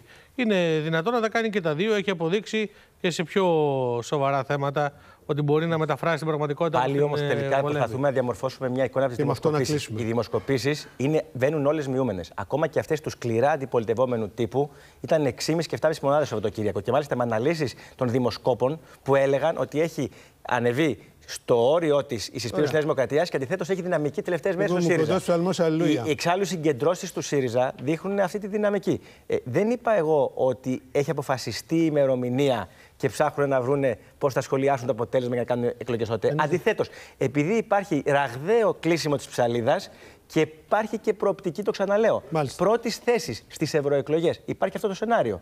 Γι' Ωραία, αυτό Φίβο, να κλείσουμε, επιστρέφονται οι πρέπει να εκλογές. πάμε σε διάλειμμα. Ευχαριστούμε πάρα πολύ. Σπύρο μου, ευχαριστούμε και σένα. Φίβο μου, Γιάννη μου. Ευχαριστούμε. Καλή δύναμη. Αυτή Καλή η εβδομάδα εβδομάδα. είναι ωραία εβδομάδα και για σχολιασμούς. Έχει και πολλή δουλειά βέβαια. η Εντάξει, αλήθεια είναι α- αυτή. αυτό είναι που είναι η γιορτή της Δημοκρατίας και επικαιρόμαστε σε κάθε Έτσι, περίπτωση. Σωστό είναι.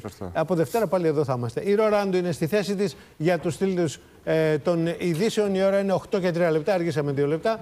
Η Ρο, καλημέρα και πάλι.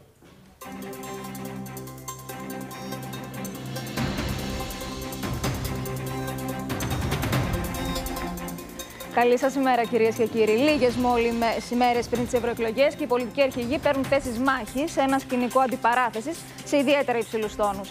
Την ιστορία δεν την γράφουν οι κονδυλοφόροι της ελίτ, αλλά ο ίδιος ο λαός, τόνισε ο Αλέξης Τσίπρας από το Πασαλιμάνι. Αφετηρία μεγάλης πολιτικής αλλαγής χαρακτήρισε την 26η Μαου Κυριάκος Μητσοτάκης από τα Χανιά. Δεν έχουν τέλος οι προκλήσεις του Ταγί Περτογάν. Αυτή τη φορά από τη Σαμσούντα, που όχι μόνο αρνήθηκε τη γενοκτονία των Ποντίων, αλλά μίλησε και για γενοκτονία κατά των Τούρκων με την πτώση της Οθωμανικής Αυτοκρατορίας. Νέο μπαράζ εμπρεστικών επιθέσεων σημειώθηκε τη νύχτα. Στόχος επιθέσεων με γκαζάκια δύο εκλογικά παραρτήματα της Νέας Δημοκρατίας σε Άλυμο και Νέα Ιωνία, αλλά και τρία ATM τραπεζών σε Άνω Γλυφάδα και Ζωγράφου. Η αστυνομία προχώρησε συνολικά σε 20 προσαγωγές. Δεν πρόλαβαν καλά-καλά να φτάσουν στο αμαξοστάσιο οι νέοι υπερσύγχρονοι σειρμοί του μετρό της Θεσσαλονίκης και έγιναν στόχος βανδαλισμού με αγνώστους να γράφουν συνθήματα και να ζωγραφίζουν γκράφιτι στα βαγόνια. Χαμηλότερο είναι από σήμερα το κόστος μιας σειράς βασικών αγαθών στο ράφι των σούπερ μάρκετ, αλλά και υπηρεσιών όπως η εστίαση και η ενέργεια, καθώς τίθεται σε ισχύ ο μειωμένος ΦΠΑ. Αντίστροφη μέτρηση για την ενεργοποίηση της πλατφόρμας για την ένταξη στη ρύθμιση οφειλών προς την εφορία σε έως και 120 δόσεις. Μέχρι τις 28 Ιουνίου η προθεσμία υποβολής αιτήσεων. Συνεφιασμένος ο καιρός στην Αττική και τη Θεσσαλονίκη, με τη μέγιστη θερμοκρασία στους 28 και τους 26 βαθμούς Κελσίου αντίστοιχα. Αυξημένη κίνηση στον Κηφισό από την Αττική Οδό μέχρι και τα κτέλ και στη Συγκρού από τη Λαγομιτζή. Ελαφρώς αυξημένη κίνηση και στην Τσιμισκή στη Θεσσαλονίκη. Λοιπόν, ευχαριστούμε την Ιροράντου. Να σας πούμε ότι λόγω αυτής της ε, εβδομάδος που έχουμε ε, έτσι, τις εκλογές, ε, ο Μιχάλης Igνατίου θα είναι λίγο αργότερα εδώ μαζί μας, αλλά και θα συνδεθούμε και με τη Μαρία Ζαχαράκη. Αυτό θα το κάνουμε λίγο αργότερα, γιατί όπως καταλαβαίνετε τα, τα προεκλογικά και οι καλεσμένοι μας αλλάξαν λίγο ε, τις καθημερινές μας συνήθειες. Πάμε τώρα να κάνουμε το διαφημιστικό μας διάλειμμα και να δούμε και τον διαγωνισμό λίγο πριν. Ε, από σήμερα ξεκινάει μέχρι την Παρασκευή. Ε, είναι ένα πολύ ωραίο τρίμερο. Προσοχή, για δύο ζευγάρια είναι η προσφορά που κάνουμε. Δηλαδή, σ- ό,τι μήνυμα στείλετε, μπορείτε να πάρετε και, το, και ένα ζευγάρι φιλικό μαζί σας. Άρα είναι για τέσσερα άτομα αυτή η προσφορά. Είναι στην Άνδρο. Ε, τα Elxi Spa προσφέρουν αυτό το καταπληκτικό ε, τριήμερο ε, στο πολύ ωραίο ξενοδοχείο το, Μικρα, ε, το Μικρά Αγγλία Boutique Hotel που είναι με ημιδιατροφή στο εστιατόριο Dolly Restaurant Bar και τα ακτοπλοϊκά με τη Fast Ferries με τα πλοία που πηγαίνουν ε, από την ε, Ραφίνα καθημερινά ε, για Άνδρο Τίνο Μύκονο. Ε, πώς μπορείτε να κερδίσετε αυτό το πολύ ωραίο, πολύ ωραίο δώρο που είναι για τέσσερα άτομα, δηλαδή για δύο ζευγάρια. Μπορείτε να καλέσετε από το σταθερό ή το κινητό στο 14584 ή θα γράψετε, θα στείλετε το μήνυμά σας στο ίδιο νούμερο γράφοντας ΑΚ και το ονοματεπώνυμό σας. Απλά, απλή είναι η διαδικασία όπως κάνουμε κάθε μέρα. 3 ευρώ συνολικά είναι η χρέωση. Παρασκευή πρωί θα κάνουμε την κλήρωση ώστε να κερδίσετε το πολύ ωραίο τρίμερο. Πάμε σε διάλειμμα και επιστρέφουμε.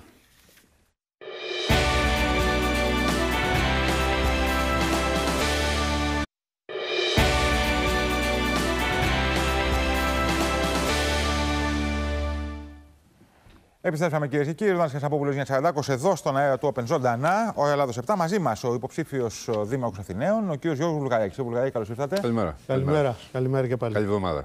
Ε, με όσους μιλάτε κι εσείς και εγώ τουλάχιστον, λένε ότι πήρατε μια, κίνη- κάνατε μια κίνηση υψηλού πολιτικού ρίσκου να κατέβετε μόνος σας και να διεκδικήσετε το αξίωμα του Δημάρχου Αθηναίων. Πώς πάει αυτή η μάχη, Ήταν Καταρχήν- τελικά ρίσκο, ήταν ρίσκο. Καταρχήν δεν κατέβαινε μόνο μου, κύριε Σαντάκο. Μόνος σας εννοώ Έχω ένα χωρίς- πολύ ωραίο συνδυασμό. Χωρίς Πρέπει να πούμε. ομπρέλα κόμματο εννοώ. Ναι. Αυτό εννοώ μόνος. Κοιτάξτε, είμαστε ευχαριστημένοι γιατί λέμε διαφορετικά πράγματα. Δεν λέμε τα πράγματα που συνήθως λέγονται αυτή την περίοδο από τους υποψηφίους δημάρχους. Γιατί η Αθήνα, ξέρετε, ο Αθηναίος είναι ένας άνθρωπος ο οποίος αισθάνεται απογοήτευση, αισθάνεται θυμό και αισθάνεται και φόβο. Επομένως, δεν μπορεί να το προσεγγίσεις με τους όρους της κλασικής ανάλυσης των αναπλάσεων, των μεγάλων έργων κτλ. Πρέπει Πρέπει να του μιλήσει για ασφάλεια, πρέπει να του μιλήσει για το μεταναστευτικό. Τα κυριότερα προβλήματα της πόλης είναι πολιτικά προβλήματα, τα οποία ο Δήμαρχος μπορεί να χειριστεί και πρέπει να χειριστεί. Και αν δεν τοποθετηθεί προκαταβολικά για αυτά που θα χειριστεί, δεν θα έχει τη δυνατότητα στη συνέχεια να απευθυνθεί σε περιοχές αποτελεσματικά. Η Αθήνα δηλαδή αρχίζει και γετοποιείται αναγειτονιές προς το κακό. Τα εξάρχεια που έχουν τον αρχικό σύνδρομο, ο βοτανικός ο οποίος έχει ξέρω εγώ, τα hot spot, κάτω από την Πατησίων που είναι μια, ένα άβατο από άλλη πάλι διάσταση. Πάμε δηλαδή σε μια πόλη η οποία πάει από το κακό στο χειρότερο. Το να πεις λοιπόν στον άλλο, εγώ θα σου κάνω πάρκο, ή θα σου κάνω αναπλάσεις, ή θα σου κάνω μεγάλους περιπάτους ή μικρούς περιπάτους. Τι να τους κάνει άμα δεν μπορεί να τους χάρη. Τι μπορεί να κάνει ο Δήμαρχος και Βουλγαράκη για το θέμα της ασφάλειας; Έχει διατελέσει και υπουργός δημόσιας τάξης. Σε κρίσιμη περίοδος Ολυμπιακούς Αγώνες πάνω. Κύριε Σαραντάκο, Η ασφάλεια της Αθήνας δεν είναι θέμα της κεντρικής πολιτικής. Είναι, Ο Δήμαρχος τι εσείς θα Ε- κάνετε. Είναι και της κεντρικής, αλλά το σημαντικότερο από όλα, κύριε Σαραντάκο, επαναλαμβάνω, είναι ότι ο Αθηναίος έχει χάσει την ψυχή του. Έχει να πιστεύει ότι τίποτα δεν μπορεί να γίνει στην πόλη. Εγώ θεωρώ ότι αυτό που συμβαίνει σήμερα στην Αθήνα είναι ότι ο Αθηναίος έχει κατά κάποιο τρόπο εγκαταλειφθεί. Έχει, αν αυτά που συμβαίνουν στην Αθήνα συνέβαιναν σε μια επαρχία, θα έχει εξασηκωθεί ο κόσμος. Δηλαδή, υπάρχουν και λέξεις επίσης που έχουν αποκτήσει ένα πολιτικό φορτίο. Αν πεις, ας πούμε, λαθρομετανάστη, σου λένε είσαι ακροδεξιός. Αν πεις παράτυπος μετανάστη, σου λένε είσαι δημοκράτης. Δεν με ενδιαφέρει πώς λέγονται. Α λέγονται όπως θέλουν. Ξέρω ότι κάτω από την Πατησίων, όλη η περιοχή από αυτούς τους ανθρώπους κατηγείται και αυτοί εργάζονται χωρίς φορολογικά μητρώα, χωρίς στοιχεία. Υπάρχουν επιχειρήσεις ολόκληρες που είναι ανύπαρκτες για το ελληνικό δημόσιο. Η μετανάστευση πάντα υπήρχε. Δεν λέει κανείς ότι να φύγουν. Όμως πρέπει να ενσωματωθούν δημιουργικά στην ελληνική οικονομία, να προσθέτουν στο ακαθάριστο εγχώριο προϊόν, για να είναι σε θέση και το ελληνικό κράτος να κερδίσει από αυτούς τους ανθρώπους σε εργατικά χέρια, όπως συμβαίνει στη Γαλλία, στη Γερμανία, στην Ιταλία. Αν δεν μιλήσεις για αυτά τα θέματα, γιατί θα μιλήσεις; Γιατί θα πεις; Για την ψηφιοποίηση, ας πούμε, Εσείς το έχετε WiFi πάει σε στην αυτές τις Πατησίων. γειτονιές; Έχετε πάει σε αυτές τις Το γειτονιές; γραφείο μου είναι εκεί, κύριε Χασαπόπουλε. Το γραφείο μου είναι σκαλκοκονδύλι. Είναι, τους βλέπω καθημερινά. Θέλω να πω ότι εμείς λέμε, διαφο- λέμε διαφορετικά πράγματα γιατί τα βιώνουμε καθημερινά μέσα στην πόλη. Τα ζούμε δηλαδή. Είναι προβλήματα της πόλης. Η Αθήνα Ναι, αλλά θα πρέπει να πέσουν σταθεί πάλι στα στο τέρας πόδια της της. γραφειοκρατίας αυτοί οι άνθρωποι για να μπορέσουν να ανοίξουν ένα αριθμό φορολογικού μητρώου, για να κάνουν κανονικά τα βιβλία τους. Δεν είναι δουλειά του Δήμου αυτό, κύριε Χασαπόπουλε. Προχθές ξέρετε τι μου λέγανε. Ότι υπάρχει, λέει, ένας. Ε, εν πάση περιπτώσει, κάπου εκεί στην Κυψέλη, στα Πατήσια, που ζουν πάρα πολλοί μετανάστες. Ναι. Υπάρχει ένας ο οποίος είναι αλλοδαπός, αλλά έχει ανοίξει καμιά 6-7 κουρία. Μα υπάρχουν... Τα οποία είναι αλυσίδα. Πρόσεξε με τώρα.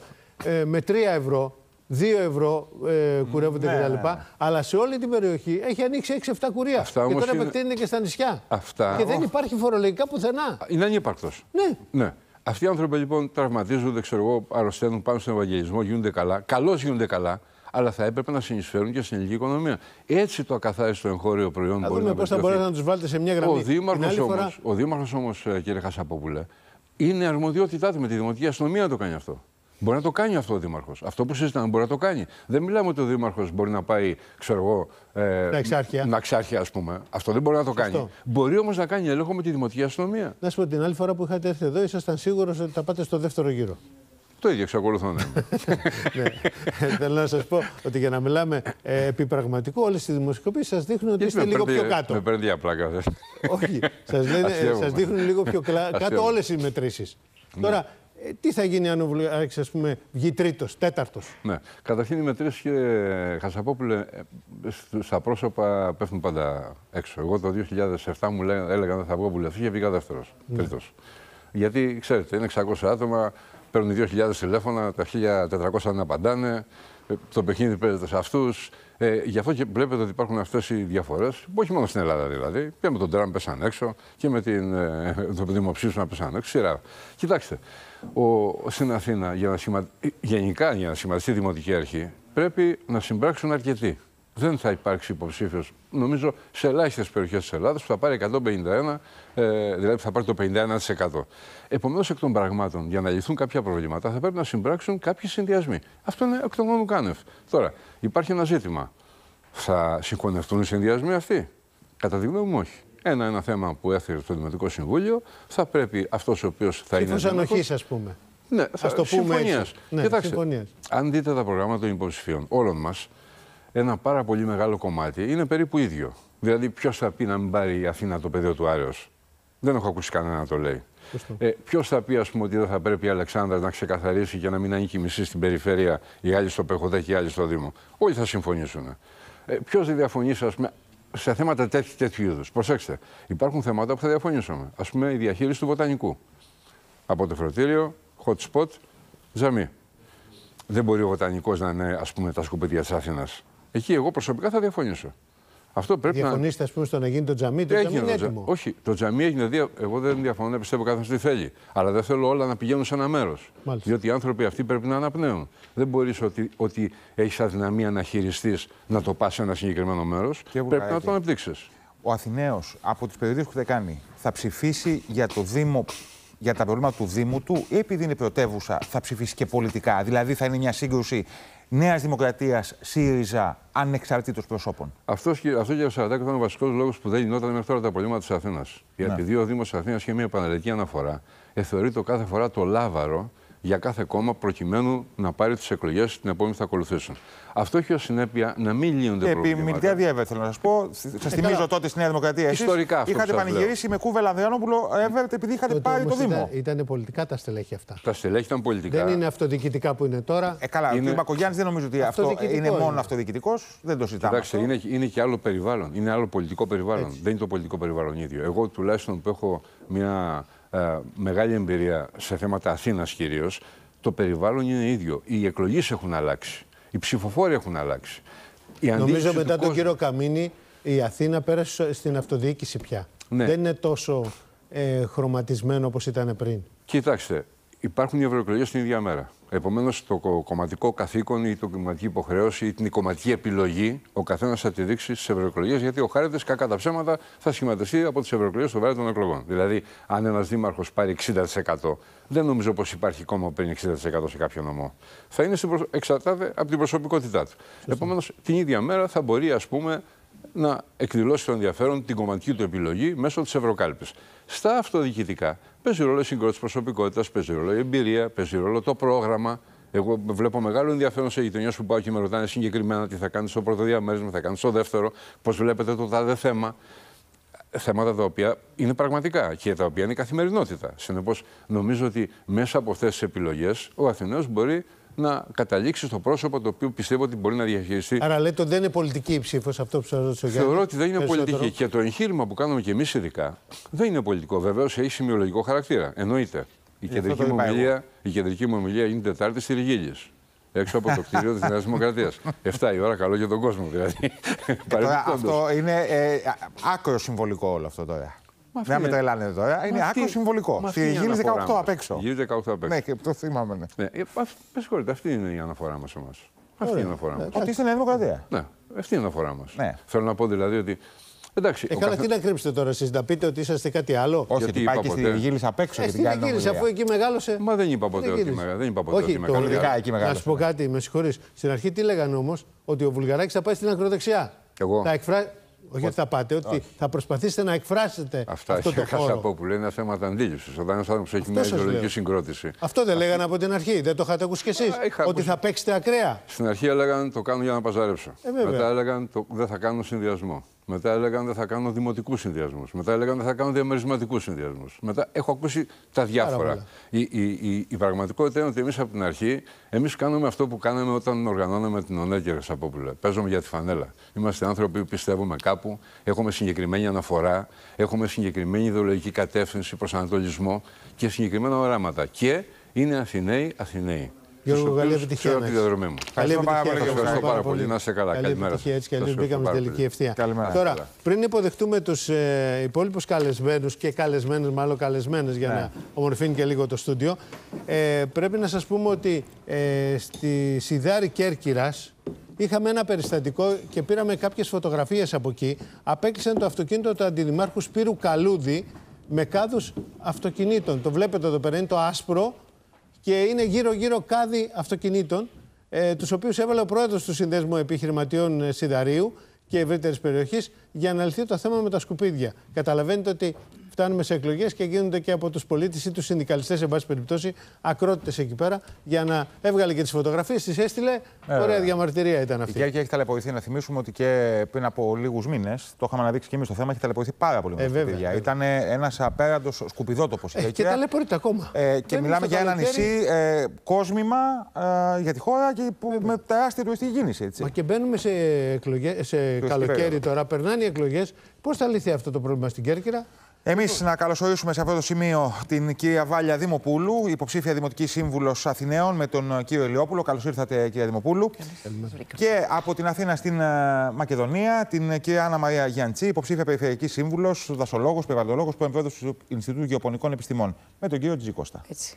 Καλώς Καλώς σας βρήκα. Καλημέρα, Καλή σας Καλημέρα μέρα. και στις δύο. Ε, να ξεκινήσουμε με την κυρία Δημοπούλου από την Αθήνα και πάμε αμέσως στην Θεσσαλονίκη. Ε, αυτό που μας είπε ο κ. Βουλγαράκη πάντως έχει απόλυτο δίκιο ότι όλοι οι υποψήφοι συμφωνείτε ότι τα προβλήματα της Αθήνας είναι τα συγκεκριμένα. Είναι δεδομένα. Δεν θα πει κάποιος άλλος κάτι α, άσχετο. Σε αυτό δεν θα υπάρξει για την επόμενη μέρα. Όποιος και να βγει ένας κοινός τόπος και να βοηθήσετε όλοι. Και ο Μπακογιάννης να βγει και ο Ηλιόπουλος να βγει και ο, και ο Γερουλάνο όλοι να βοηθήσετε. Αφού είναι γνωστά τα προβλήματα.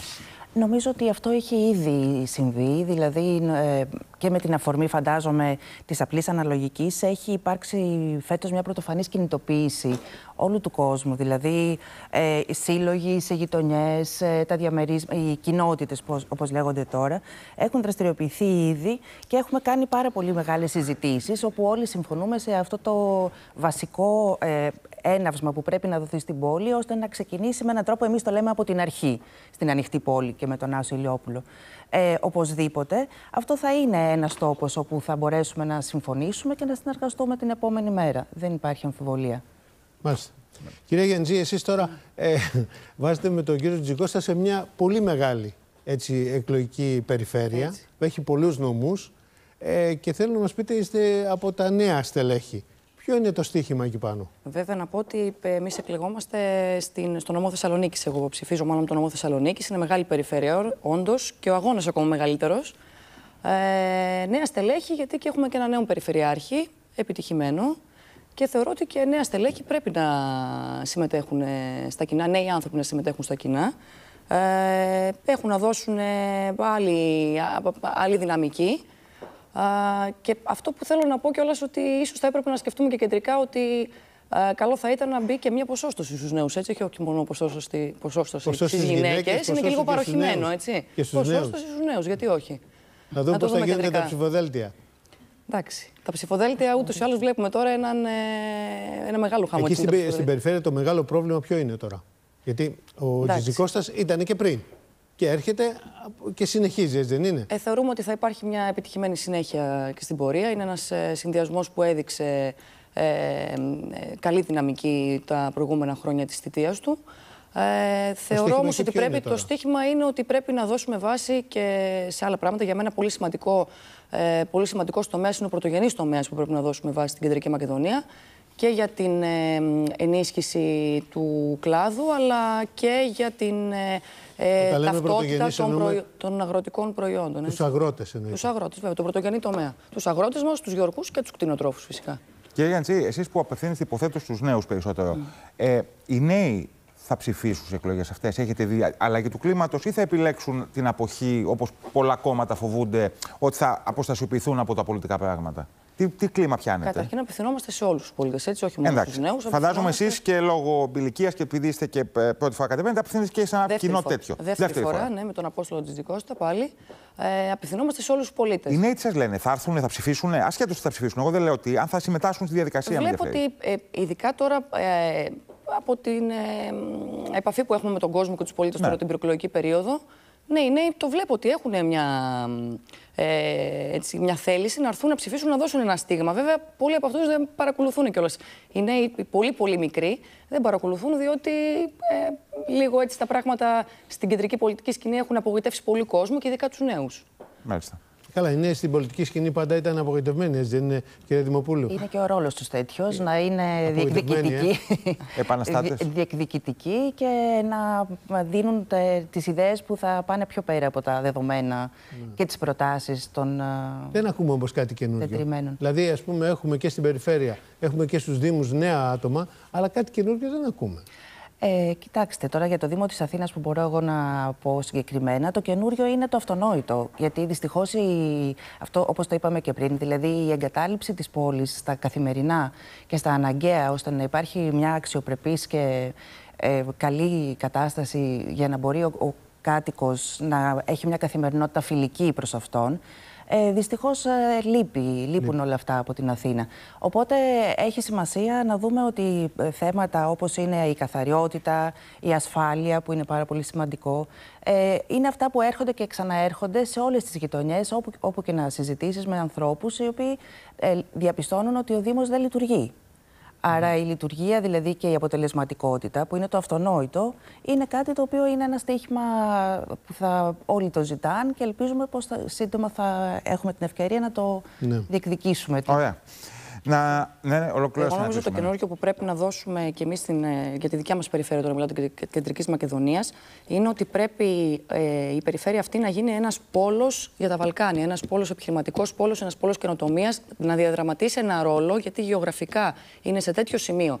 Έχει ταυτότητα, έχει προϊόντα, έχει νέο κόσμο, έχει μεγάλη ενέργεια φυσικά όπως γνωρίζετε. Νομίζω ότι αυτό που πρέπει να γίνει και να δοθεί βάση και κεντρικά από την Αθήνα, έτσι, από, την, από την ίδια την κυβέρνηση, αλλά και εμείς, σαν ε, ε, αυτοδιοίκηση, πρέπει να, να, να δώσουμε τα ανταγωνιστικά, ανταγωνιστικά προς τις υπόλοιπες Νομίζω περιοχές ότι του Βαλκανίου για να αυτό που γίνουμε έχει- ένας- ένα κέντρο ε, της περιοχής. Αυτό που έχει γίνει με τα μακεδονικά προϊόντα, νομίζω ότι ο Τζιτζικώστας, ε, εφόσον εκλεγεί την επόμενη μέρα, αυτό θα, είναι να, αυτό θα έχει να αντιμετωπίσει. Μα το αντιμετωπίζουν με ήδη. τα- θα με πρέπει. την ταυτότητα των μακεδονικών προϊόντων. Αντιμετωπίζεται ήδη σε εκθέσεις του εξωτερικού Γι' αυτό πρόβλημα λέω με την ότι μεγάλο ταυτότητα. στοίχημα θα βέβαια. είναι εκεί. Να βοηθήσετε τις επιχειρήσεις με, για να κατοχυρώσουν αυτά τα προϊόντα τους.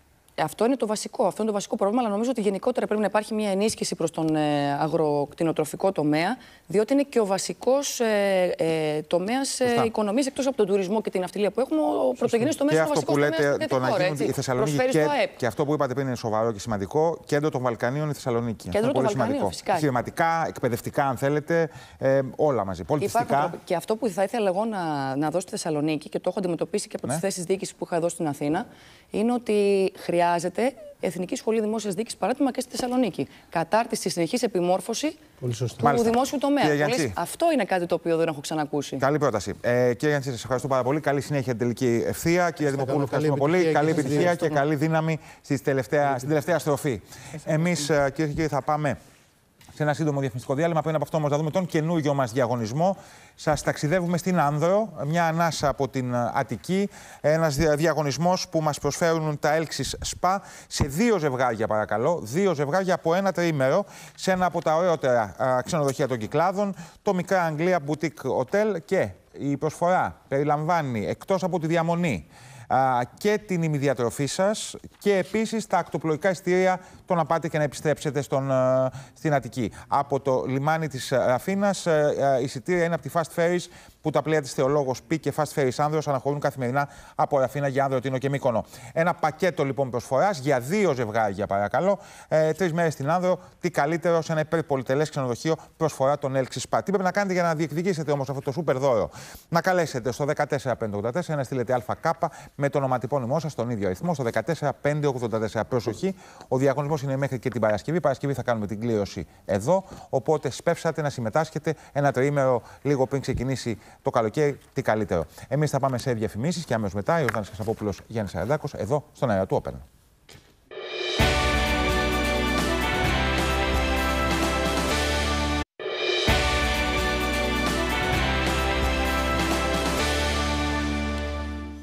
Καλή σας ημέρα. Εδώ είμαστε για όσους ξυπνήσατε τώρα, για όσους ξεκινάτε τη μέρα σας. Καλή εβδομάδα να έχουμε, εκλογική εβδομάδα, εβδομάδα παροχών έχουμε μπει, 9 και 42 πρώτα λεπτά. Με πολύ χαρά έτσι μετά τους Δημοτικούς Συμβούλους και τους Περιφερειακούς να υποδεχτούμε στην κεντρική πολιτική σκηνή αγαπητούς φίλους οι οποίοι βάζουν τώρα για ευρωβουλευτές. Ο κύριος Τέλειο Κούλογλου είναι ευρωβουλευτής και πάλι υποψήφιος. Καλησπέρα, κύριε Κούλογλου. Καλημέρα, καλημέρα. Ευχαριστούμε πάρα πολύ. Μαρία Σπυράκη, ε, ευρωβουλευτής και υποψήφια πάλι ευρωβουλευτής. Καλημέρα, κύριε Σπυράκη. Καλημέρα και ευχαριστώ Άρτη πολύ για την αφιχθής πρόσκληση. από Ξάνθη, θέλω να σου πω. Είχε περιοδία στην Ξάνθη. Τα Ναι. παθαίνει ο Ιορδάνης, έχει κάτι άκρηση. εκεί. Και, και η μεγάλη έκπληξη για μας ήταν ότι ο κύριος Τέλειος Φενέκος, ε, μ, υποψήφιος ευρωβουλευτής με το ποτάμι, Κύριε Φενέκο, σας καλούσαμε εδώ, μας λέγατε για τον Ερντογάν, λέγαμε τα εθνικά μας θέματα, ωραία τα συζητούσαμε.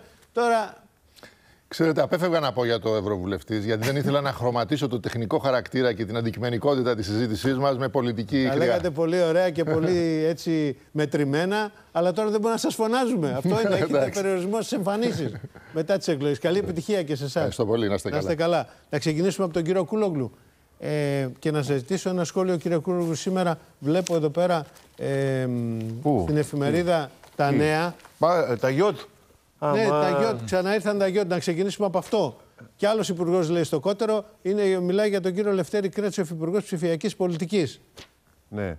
Κοιτάξτε, ε, εγώ θα έλεγα να συζητήσουμε ε, σοβαρά για την Ευρώπη, η οποία είναι σε πολύ κρίσιμη φάση, ή ακόμα και την εσωτερική πολιτική αντιπαράθεση, το δημοψήφισμα που έχει πάρει πίσω ο κ. Θα τα Μητσοτάκη. πούμε και αυτά. Θα τα πούμε και αυτά. Εντάξει, τώρα δεν δεν θέλω να μπω, ούτε ξέρω την, την περίπτωση. Δεν ξέρω αν ο κύριος Γκρέτζος ε, πήγε σε κότερο, τι κότερο ήταν αυτό, πιανού ήταν κτλ.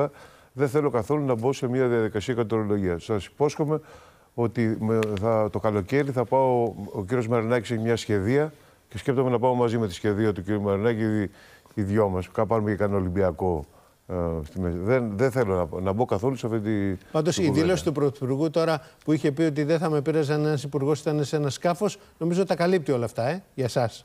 Ούτε ξέρω ότι. ε, Κοιτάξτε, το να είναι κανείς σε ένας σκάφος, ε, δεν ξέρω ούτε γιατί έχει πάει, πού έχει πάει, πώς έχει πάει, ποιος ήταν αυτός.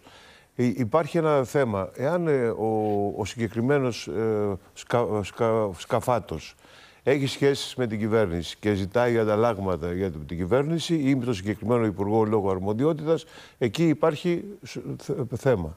Κατά τα άλλα, η ιδιωτική ζωή του καθένα είναι ιδιωτική ζωή.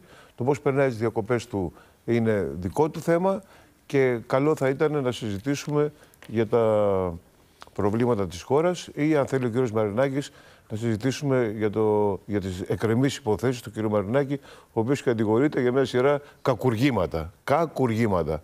Λοιπόν, ε, θα ήταν πιο ενδιαφέρον συζήτηση να δούμε οι 7-8 που έχουν πεθάνει στις φυλακές στην υπόθεση του Νουρ κτλ. κτλ. Κύριε Σπυράκη, τι λέτε; Ότι από την κυβέρνηση προφανώς λείπει η ενσυναίσθηση, δηλαδή προφανώς δεν καταλαβαίνουν ότι ό,τι μπορεί να είναι και νόμιμο δεν είναι απαραίτητος ηθικό. Για να θυμηθώ και μια παλαιότερη φράση που προέρχεται από, από τη δική μας α, πλευρά. Και να πω ότι αυτό που λείπει κυρίως είναι και η εδώς. Είδαμε δηλαδή και το σπότ της κυρίας Δούρου, που μια και μιλήσαμε και με τον κύριο Μαρινάκη, από ό,τι θυμάμαι, εκεί μαζί τρώγανε στον Πειραιά, ε, ανοιχτή υποστήριξη της παρήχε την προηγούμενη φορά, δηλαδή δεν είμαστε άγνωστοι όλοι σε αυτή τη, τη χώρα. Είδαμε λοιπόν το, προ, το προεκλογικό σπότ της κυρίας Δούρου με το μάτι φόντο, το οποίο αποσύρθηκε άρον-άρον και το οποίο ακριβώς δείχνει ότι δεν υπάρχει εδώ σε αυτή την υπόθεση. Είδαμε όμως και το άλλο προεκλογικό σπότ με τις περικοπές των συντάξεων. Θα ήθελα λοιπόν να πω ότι το σημαντικό σε αυτή την υπόθεση δεν είναι μόνο ότι λείπει η αίσθηση του, του σε ποια κατάσταση βρίσκεται ο κόσμος, ότι λείπει η ντροπή. Το σημαντικό σε αυτή την υπόθεση είναι ότι η, η κυβέρνηση έχει απομακρυνθεί από την πραγματικότητα. Κόπηκε οριστικά το ΕΚΑΣ, κόπηκαν οι συντάξει. Κυρίως όμως, αν ο κύριος Κούλογλου και εγώ δουλεύουμε τα ίδια χρόνια και έχουμε πληρώσει τις ίδιες εισφορέ, ακριβώς τα ίδια χρόνια και ακριβώς τις ίδιες εισφορέ, επειδή ο κύριος Κούλογλου συμβαίνει να είναι μια δεκαετία ίσως μεγαλύτερος από μένα και βγήκε πριν από μένα στη σύνταξη, θα πάρει 100. Και εγώ θα πάρω 62. Και αυτό είναι το αποτέλεσμα του νόμου Κατρούγκαλου. Και αυτό είναι το έγκλημα κατά των συντάξεων και των ανθρώπων οι οποίοι εργάστηκαν, πλήρωσαν εισφορέ και θα δουν τον κόπο της ζωής τους να μην ανταποδίδεται. Καταλαβαίνετε όμως ότι είναι μια αντίφαση να λέτε όλα αυτά που λέτε, όχι μόνο εσείς, όλη η Νέα Δημοκρατία, αλλά στο τέλος να πηγαίνει να ψηφίζετε αυτές τις παροχές που κάνει η κυβέρνηση. Οτιδήποτε, κύριε Σαραντάκο, ανακουφίζει τους Έλληνες, εμείς θα το κάνουμε. Άρα παράδοξο ότι ανακουφίζει αλλά τους Έλληνες αυτό που εμείς, κάνει η ο- ο- κυβέρνηση. Αυτό εκεί ακόμη, θέλω να και, καταλήξω. ακόμη, και αν είναι, ακόμη και αν είναι με αυτή την προεκλογική μορφή. Αλλά εμείς, και θέλω να το πω αυτό για όλους τους Έλληνες που έχουν εισόδημα μέχρι 10.000, θα μειώσουμε τον εισαγωγικό φορολογικό συντελεστή από το 22% στο 9% και θα ε, και θα καταργήσουμε το τέλος επιτιδε- επιτιδεύματος. Αυτό σημαίνει πρακτικά ότι ακόμη και ένας ελεύθερος επαγγελματίας αντί να πληρώνει ένα φόρο που τώρα φτάνει τα 2.850 ευρώ, θα πληρώνει ένα φόρο που, τώρα, που θα είναι έως 1.950 ευρώ. Θα πληρώνει δηλαδή ετησίως φόρο περίπου 900 ευρώ λιγότερο. Και Τη φυσικά 13η σύνταξη η, θα λύγει. μείωση, η, Τη 13η μείωση, σύνταξη- η μείωση αυτού του φόρου θα δώσει στον ελεύθερο επαγγελματία και σε όποιον επιδευματία κερδίζει έως 10.000 ακόμη ένα μισθό. Όπως θα δώσει ακόμη ένα μισθό η κατάργηση της μείωσης του αφορολογήτου για την οποία προκαλούμε την κυβέρνηση και η κυβέρνηση κάνει την πάπια. Καθαρές κουβέντες. Εμείς αυτά θέλουμε να κάνουμε, θέλουμε να επεκτείνουμε την οικονομία, θέλουμε να δημιουργήσουμε ένα θετικό κλίμα. Παρακαλώ κύριε Κούλογου, σας ακούω. Ναι, ναι, καλά. Ελάτε να αλλάξουμε θέλετε ρόλους. να, επε- θέλετε να επεκτείνετε και τις μέρες εργασίας από 5 σε 7. Όχι, αλλά θέλουμε είναι να μια άλλη επεκτείνουμε ιδέα. την άδεια. Αλλά μια άλλη ιστορία. Αυτό που κάναμε- Το- όχι, Τη 13η μισό, μισό, σύνταξη. μισό, Τη- Τη μισό. 13η σύνταξη θα την, θα την κρατήσετε Λοιπόν, ή θα αυτό την. που, ή αυτό θα που την, έγινε ε, στον Παπαστράτο και το οποίο επικαλέστηκε ο κύριος Μητσοτάκης δίνει στους εργαζόμενους τις ίδιες αποδοχές και 18 επιπλέον μέρες άδεια. Αυτό που έγινε στην Τρενοσέ και το υπογράψατε με χαρά εσείς ως ΣΥΡΙΖΑ και η κυρία Η 13η Αξιόγλου. σας λέει τώρα. Και η Τώρα, κυρία Αξιόγλου η 13η βάζει σύνταξη τους, θα την, ε, επιτρέπεις στους, στους οδηγούς των α, αμαξοστοιχειών Ωραία. να εργάζονται 9 μέρες, 9 μέρες το ξαναλέω. Εννέα 7 μέρες την στην εβδομάδα δεν γίνεται. 7 στην εβδομάδα συν 2 από την επόμενη, συν 2 από την επόμενη, συνεχώς.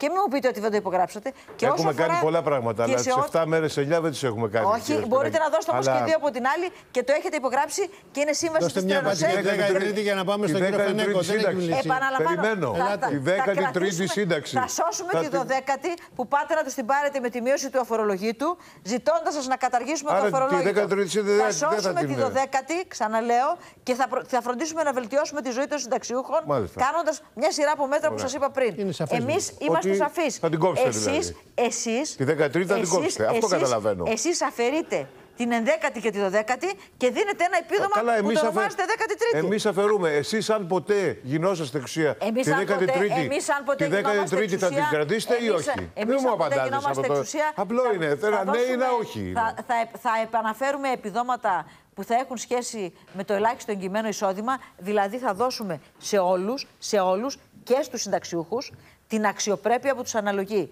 Το 1 Βάλτε μια τελεία να δισεκατομμύριο ακούσουμε τον κύριο συν τα Φανέκο, δεν χρήματα έχει που θα μιλήσει. έχουμε από το Ταμείο Ελάτε. Δίκαιης Τη Μετάβασης 13η είναι σύνταξη για δεν ξέρω. όλους. Και για τους συνταξιούχους και για τους μακροχρόνια Σας άνεργους. παρακαλώ, Και τη θα 13η προσθέσουν και σύνταξη, άλλα χρήματα. όσο και να Αυτή την τη ρωτάτε, 13η εκεί θα σύνταξη, είμαστε. ρωτήστε τη γιαγιά εκείνη που, Καλά, που την εντάξει, έκανε από οκ. την τηλεόραση και Βάλτε μια εξαφανίστηκε. τελεία, κύριε Ρωτήστε Σπυράκη. αυτούς που Γιατί πήραν τα ξε- χρήματα. Ρωτήστε τη Σας γιαγιά που την παρακαλώ. έκανε από την Εσείς τηλεόραση. Σας και παρακαλώ, εξαφανίστηκε. κύριε Κούλογλου. Μάλιστα. Ε, κύριε Φενέκο, πώς τα ακούτε τώρα όλα αυτά; Επιτρέψτε μου να πω, επειδή έχω χρηματίσει δημόσιος λειτουργός, ότι πιστεύω ότι οποιοδήποτε δημόσιος λειτουργός πρέπει να διάγει έναν βίο λιτό και με τη λιγότερη δυνατή δημοσιότητα, πόσο μάλλον να ανεβαίνει σε κότερα και να κατεβαίνει από κότερα όταν είναι εν ενεργεία. Το δεύτερο στοιχείο που θα ήθελα να πω είναι ότι πιστεύω στα, στην αναπτυξιακή λογική των οικονομικών μέτρων και όχι στην επιδοματική λογική. Ενδεχομένως κάποια στιγμή να χρειάζονται ορισμένα επιδόματα σε κάποιες τάξεις οι οποίες πραγματικά πάσχουν, αλλά αυτό κατά συγκυρία να γίνεται πριν από τις ευρωεκλογές το βλέπω λίγο δική προθέσεως λίγο προβληματικό. Τώρα, σε ό,τι αφορά τη συζήτηση, χαίρομαι που ο κύριος Κιγκούλογλου έθεσε στην αρχή, που είναι και δύο έμπειροι ευρωβουλευτές, την ατζέντα για ευρωπαϊκά πράγματα και καλό είναι να συζητήσουμε για αυτά, διότι υπάρχουν πολλά πράγματα που πρέπει να γίνουν στην Ευρώπη και νομίζω ότι οι, οι, οι συνομιλητές είναι οι πλέον αρμόδιοι για να πούν Ναι. προτάσεις αυτές. Α, εννοείται. Α, λέτε. Ναι. Ε, ναι, πείτε όμως τα ευρωπαϊκά για εσά. Ποια είναι; Α, τα ευρωπαϊκά Γιατί για εδώ μένα. μαλώνουμε για τα Ε, επιδόματα, ναι, ναι, τη 13η σύνταξη. Κοιτάξτε, ε, ε, ε, καταρχάς εγώ δεν πιστεύω στην ε, χωρίς ε, σκέψη α, ε, αποδοχή όλων των ευρωπαϊκών ε, γεγονότων και όλων των ευρωπαϊκού ε, οικοδομήματος. Πρέπει να έχουμε μια κριτική ικανότητα για να δούμε τα προβλήματά του. Και τα προβλήματά του είναι πραγματικά και τα γνωρίζουμε αυτή τη στιγμή. Πέραν από την οικονομία, πέραν από τις κοινωνικές πολιτικές, πέραν από το θέμα της μετανάστευσης, του ασύλου κλπ. Υπάρχουν σοβαρά θέματα οργανωτικά εντός της Ευρωπαϊκής Ένωσης και το κυριότερο, επιτρέψτε μου να πω ότι υπάρχουν σοβαρά θέματα οργανωτικά και στην ίδια την ελληνική πραγματικότητα πώς αντιμετωπίζει το ευρωπαϊκό κεκτημένο. Και θα σας πω ένα παράδειγμα για να μην μακρηγορώ. Υπάρχει η Επιτροπή Ευρωπαϊκών Υποθέσεων στο Ευρωκοινοβούλιο, η οποία κατά καιρούς μπορεί να συνεδριάζει με τις επιτροπές ε, της Ευρωπαϊκής Ένωσης για να εξετάζουν θέματα. Αν δείτε λίγο το, τα βίντεο και τις ατζέντες θα δείτε ότι ελάχιστοι, ευρω... ελάχιστοι βουλευτές παρίστανται, πόσο μάλλον φορείς από παραγωγικές τάξεις κλπ. οι οποίοι να μπορούν να ενημερώνονται για αυτό το ζήτημα. Πιστεύω λοιπόν ότι θα πρέπει να δημιουργήσουμε ένα συνεκτικό πλέγμα τέτοιο με συνεννόηση των Ευρωβουλευτών αλλά και όλων όσων μετέχουν στο ευρωπαϊκό κεκτημένο σε γραφεία κλπ. προκειμένου να υποστηρίξουμε τα εθνικά μας συμφέροντα. Κύριε Ωραίο. Κουλογλού, Ωραίο. ήθελα να ρωτήσω το εξής. Υπάρχει το Σαββατοκύριακο μια σχετική φιλολογία και σεναριολογία ότι μπορεί ο Πρωθυπουργός να προκηρύξει το βράδυ της Κυριακής εκλογές αν το ποσοστό, αν η διαφορά είναι μικρή σχέση με τη Νέα Δημοκρατία. Έχετε εσείς μια τέτοια εικόνα καταρχήν και δεύτερον, αν δεν έχετε, ποια είναι η δική σας εκτίμηση; Όχι, και- κοιτάξτε, πιστεύω ότι οι εκλογές πρέπει να γίνουν κανονικά στο τέλος της τετραετίας. Ανεξαρτήτως αποτελέσματος των εκλογών. Ανεξαρτήτως αποτελέσματος, να δώσουμε την εικόνα επιτέλους μιας κανονικής χώρας. Θα είναι μετά από πάρα πολλά χρόνια που μία κυβέρνηση θα έχει κλείσει τετραετία. Αυτό θα είναι ένα καλό σήμα ε, για την Ευρώπη. Κατά τα άλλα, πιστεύω ότι η διαφορά, αν υπάρχει, θα είναι μικρή, θα είναι υπέρ του ΣΥΡΙΖΑ. Ε, ο- ε, ότι ο κύριος Μητσοτάκης εγκλωβίστηκε Εννοείται σε υπέρ ένα... του ΣΥΡΙΖΑ η διαφορά. Θα είναι πρώτο κόμμα ΣΥΡΙΖΑ. εννοείται. Ναι, ναι, ναι. Εγκλωβίστηκε σε ένα αφήγημα, εγκλωβίστηκε σε ένα αφήγημα ότι θα μας κοίσει, θα μας κάνει δημοψήφισμα κτλ. Τον τελευταίες εβδομάδες το έχει πάρει πίσω αυτό το δημοψήφισμα και τώρα ακούω συνεχώς δηλώσεις ε, ε, εκπροσώπων της Νέας Δημοκρατίας που λένε έστω και μία ψήφο διαφορά να κερδίσουμε είναι νίκη, το οποίο είναι τελείως άλλο από θα σας διαλύσουμε. Και τελευταία άκουσα τον κύριο Αυγενάκη αλλά και τον κύριο κοινο- το κοινοβουλευτικό εκπρόσωπο της Νέας Δημοκρατίας να λένε ότι θα γίνει νοθεία. Τι σημαίνει αυτό, ότι είναι σε πανικό. Διότι βλέπουν, ότι- βλέπουν τις μυστικές μετρήσεις, ότι δεν είναι καθόλου έτσι τα πράγματα και μπορεί να κερδίσει ο ΣΥΡΙΖΑ. Και εσείς Πολύ όμως, απλά. κύριε Κούλογλου, πριν πάω στην κυρία Σπυράκη, είχε πει ο Πρωθυπουργός στην αρχή ότι είναι ψήφος εμπιστοσύνης. Μετά είπατε ότι είναι δημοσκόπηση. Τι είναι τελικά οι ευρωεκλογέ. Ναι. Ο- α, είναι, οι εκλογές είναι μια πολιτική αναμέτρηση με τις πολιτικές προεκτάσεις, αλλά, θα έπρεπε, αλλά δεν είναι τίποτα άλλο παρά ευρωεκλογές. Δεν πρέπει να μιλάμε για τις ευρωεκλογές σε αυτή την κατάσταση που βρίσκεται η Ευρώπη, να μην μιλάμε κατά την Ευρώπη. Δεν είναι συμπεριφορά Ευρωπαϊκού Κόμματος η Νέα Δημοκρατία να λέει ότι θα το κάνω δημοψήφισμα και δεν θα συζητήσουμε καθόλου για την Ευρώπη. Δεν είναι συμπεριφορά να λέμε ότι η Ευρωπαϊκή Ένωση βυσοδομεί αντίον της Ελλάδος και της επιβάλλει μυστικές συμφωνίες όπως τον Πρεσπών. Δεν, ε, ο κ. Μητσοτάκης έχει πάρει ένα παλιότερα ευρωπαϊκό ε, κόμμα και το έχει μετατρέψει σε ένα, σε ένα ακροδεξιό μόρφο που λέει θεωρίες συνωμοσίας. Αυτό είναι. Α μην ανησυχεί ο κύριος Κούλογλου, η Νέα Δημοκρατία θα είναι το μεγαλύτερο κόμμα στο Ευρωπαϊκό Λαϊκό Κόμμα ποσοστιά. Αλλά για να μιλήσουμε καθαρά. Εσείς είστε η- η- υπέρ της και με μια ψήφο διο- η- ε, η διαφορά αναμέτρηση- είναι νίκη της Νέας Η Δημοκρατίας. αναμέτρηση δεν είναι αποστηρωμένη και εδώ θα σας πω ότι από τότε που διεξάγονται ευρωεκλογές, η μεγαλύτερη διαφορά που κατεγράφει ανάμεσα στα δύο κόμματα είναι 4,4%. Η μεγαλύτερη διαφορά που κατεγράφει. Είναι λοιπόν απαραίτητο να ξέρουμε ότι εκείνο το βράδυ στείνεται κάλπη. Είναι η πρώτη κάλπη μετά το Σεπτέμβριο του 2015 και είναι η κάλπη που θα σημάνει την αλλαγή σελίδας. Η κυβέρνηση αυτή το βράδυ των εκλογών, που όπως όλα δείχνουν θα χάσει αυτή την αναμέτρηση, θα είναι πολιτικά απονομιμοποιημένη. Και θα είναι πολιτικά απονομιμοποιημένη γιατί σε κάλπη, τρεις μήνες πριν τη λήξη της θητείας της, έχει χάσει την πλειοψηφία και στηρίζεται μόνο στο δεύτερο κόμμα και τους πρόθυμους. Δεν δικαιούται να δεσμεύει τη χώρα, δεν δικαιούται να αλλάζει την ηγεσία της δικαιοσύνης. Όχι σε κάθε περίπτωση, κύριε Σπυράκη, όμως. Σταύρωσον αυτών, ούτε δικαιούται, για να είναι καθαρά τα πράγματα, να προχωρήσει 15 μέρες πριν τις ευρωεκλογές στον ορισμό επιτρόπου. Και επειδή μιλήσατε και για τα ζητήματα της νοθείας, να σας πω ότι αυτό που έγινε από τα στελέχη μας ήταν μια προσπάθεια να επισημάνουμε ότι η, η επίδοση του ΣΥΡΙΖΑ σε όλες τις διοργανώσεις και στις εκλογές δεν είναι αυτό που λέμε και το ρεκόρ της αξιοπιστίας. Αυτό σε καμία περίπτωση δεν είναι γύρει άλλα ζητήματα. Καλούμε τους πολίτες να πάνε στις κάλπες, καλούμε τους νοδημοκράτες να έχουν τα μάτια τους ανοιχτά, θα έχουμε εκεί και εκλογικούς αντιπροσώπους. Γι' αυτό ζητήσαμε και χωριστές αίθουσες. Στη μία αίθουσα να γίνεται η ψηφοφορία για την ευρωεκλογία και την περιφέρεια και στην άλλη αίθουσα να γίνεται η ψηφοφορία για τις τοπικές αρχές, για τις τοπικές εκλογές. Και το ξαναλέω, το βράδυ εκείνο έχουμε κάλπη. Κάλπη η οποία θα σημάνει την αλλαγή σελίδας. Το συνταγματικό περιθώριο, να θέλετε να, να εξαντλήσετε, αυτό είναι 20 Οκτωβρίου. Είμαστε πάρα πολύ κοντά λοιπόν στο συνταγματικό περιθώριο και όταν χάσει το κόμμα, το πρώτο κόμμα χάσει τις εκλογές, έχασε τις εκλογές. Τελεία. Απονομιμοποιείται πολιτικά. Πάντως κανείς μετά τις ευρωεκλογές δεν έχει κάνει εθνικές Απονομιμοποιείται- εκλογές. Όλοι τις κάνανε απονομιμοποιείται- τον Οκτώβριο. Ακού- Και ο Καραμαλής και ο Σαμάρας Ναι, όλοι. απο- ο Σαμαράς έπεσε και δεν τις έκανε τον Οκτώβριο. Έπεσε μέσα στη Βουλή γιατί ο ΣΥΡΙΖΑ, η Χρυσή Αυγή και η ΣΥΝ αυτό δεν ψήφισαν το Σταύρο Δήμα. Ήταν στη μέση της θητείας του, δεν ήταν στο τέλος. Ο Δε Καραμαλής ήταν επίσης στη μέση της θητείας του Θέλω να πω όταν κα- προκήρυξε εθνικές ποτέ εκλογές. ένα εκλογικό αποτέλεσμα σε ευρωεκλογές δεν σημαίνει ότι πάμε σε εθνικές εκλογές. Ξαναλέω ότι είναι, έχει να κάνει και με τα χαρακτηριστικά του Εντάξει, χρόνου. συμφωνούμε, ότι εδώ συμφωνούμε. Τελειώνει, τελειώνει η εντολή. Όπως είναι τελειώνει η σωστό εντολή. και αυτό που είπατε. Τελειώνει η εντολή. Η Στείλουμε διαφορά κάλπη και μεταξύ των τελειώνει. δύο μεγάλων κομμάτων δεν υπήρχε πάνω από 4,5. Εντάξει, Η πιο μεγάλη ήταν. 4,4 ήταν. 4,4. Δεν είχε πιο Λοιπόν, μεγάλη. έχουμε αυτά τα δεδομένα με πολύ μεγάλη ψυχραιμία. Ξαναλέω, δεν είναι δημοσκόπηση, θα το ήθελε πολύ ο κύριος Τσίπρας, ο κύριος Κούλογλου. Είναι κάλπη, πάει ο κόσμος και ψηφίζει την αλλαγή της σελίδας. Κύριε, Αυτό κύριε κάνει. Ασπυράκη, επικαλούμενος και τη, Παρακαλώ. τη δημοκρατικότητά σας αλλά και την ευρωπαϊκή σας ε, θητεία, μου προξενεί πραγματικά πολύ μεγάλη εντύπωση ότι στελέχοι σας μιλάνε για νοθεία. Για πρώτη φορά μετά τη μεταπολίτευση, όπου έχουμε περάσει, Κούλογλου, μίλησα γι' όπου έχουμε περάσει όλα αυτά τα χρόνια, Κύριε Κούλογλου, μίλησε γι' αυτό. όπου κανένας δεν έχει τολμήσει να θίξει Μίλησε το- γι' αυτό, τον κύριε τρόπο, τον τρόπο, Επιστήσαμε τον την τρόπο προσοχή. διεξαγωγής Κύριε, μια διεξαγωγής απόσταση, επιλογών. κυρία Σπυράκη. Μιλάτε, Κύριε Κούλογλου, μίλησα μιλάτε- γι' αυτό, δεν ακούσατε Μιλάτε μάλλον. για νοθεία και δεν παίρνετε Σκεφτόσασταν- αποστάσεις. Εγώ, αν σκεφτόσασταν ήμουν κάτι στη θέση άλλο σα, θα την ώρα έλεγα που ότι ο μιλούσα. κύριος Αβγενάκη έκανε μεγάλο λάθος. Δεν είσαστε όμως Πέστε το έτσι. Δεν είσαστε όμως Πέστε το έτσι.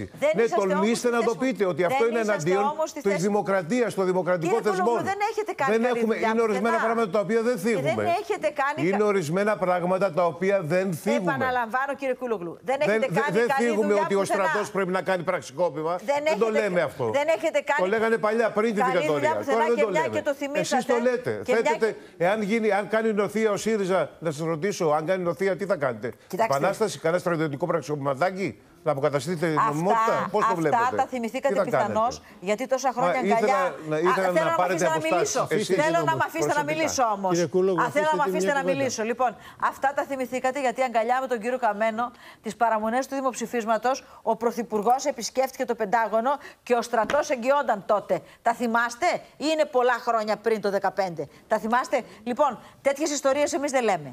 Επιστήσαμε την προσοχή στους πολίτες, στους νεοδημοκράτες να ξέρουν ότι ο ΣΥΡΙΖΑ δεν φημίζεται για την αποτελεσματικότητά του σε καμία διοργάνωση ούτε στη διακυβέρνηση. Αυτό ήταν και τίποτα άλλο. Και ξαναλέω, Αυτό ήταν το- έχουμε το χωριστές νοθεία. Ωραία. κάλπε, Πολύ έχουμε ωραία. χωριστές Προειδοποίηση. αίθουσες έχουμε χωριστές αίθουσες και Σας, είναι σαφές ε, ότι θέλουμε τους δικαστικού αντιπροσώπους και κυρίως τους εκπροσώπους της Νέας Δημοκρατίας πάνω από την κάλπη για, για να επιτηρούν τη διαδικασία. Κρίμα Τελεία. και γενιά, κύριε Κούλογλου, να σα Κρίμα, ευχαριστήσουμε. κρίμα. Κυρία Σπυράκη, Μου κύριε επιτρέπετε. Φενέκο, ένα λεπτό. Επειδή δεν θέλω να σας αδικήσουμε, μιλήσατε λιγότερο από όλους. Αμέσως μετά τους τίτλους των ειδήσεων θα είναι εδώ μαζ- ο- μαζί μας ο Μιχάλης Ιγνατίου και η κυρία Ζαχαράκη. Θα μείνετε να μας βοηθήσετε στα εθνικά. Μία, πρα- μία φράση μόνο. Ε, επειδή ο- είμαι στρατιωτικός και θε- θεωρούμε ότι, θεωρώ ότι προσβάλλονται οι στρατιωτικοί, μιλάω για πραξικόπημα. Κανένας στρατιωτικός σήμερα δεν θα έκανε πραξικόπημα για κομματικό συμφέρον ή ουδήποτε. Πρέπει να το Σωστό, ξεκαθαρίσω. πολύ σωστά τα λέτε. Στα ωραία τα λέτε. Ευχαριστούμε Θα πάρα τα πολύ, λέγατε και κυρία τότε που Σπυράκη. ήταν ο Καλή κ. επιτυχία. Καμένος Υπουργός Εθνικής Τα έλεγα, Άμυνα. τα έλεγα. Ακόμα καλύτερα Μισό αυτά. Τα λεπτό. έλεγα, τα έλεγα. Κυρία Σπυράκη, μισό λεπτό. Να πάμε σε τίτλους ειδήσεων και θα σας αποδεσμευτείτε. Ευχαριστούμε. Πάμε. Η Ρο Ράντου είναι στη θέση της. Για τους τίτλους των ειδήσεων η ώρα είναι 9 ακριβώς.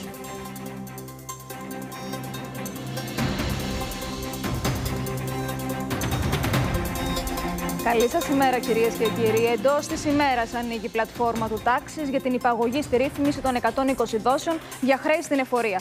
Την Τετάρτη ανοίγει και η αντίστοιχη πλατφόρμα του ΕΦΚΑ για διακανονισμό φυλών στα ασφαλιστικά ταμεία.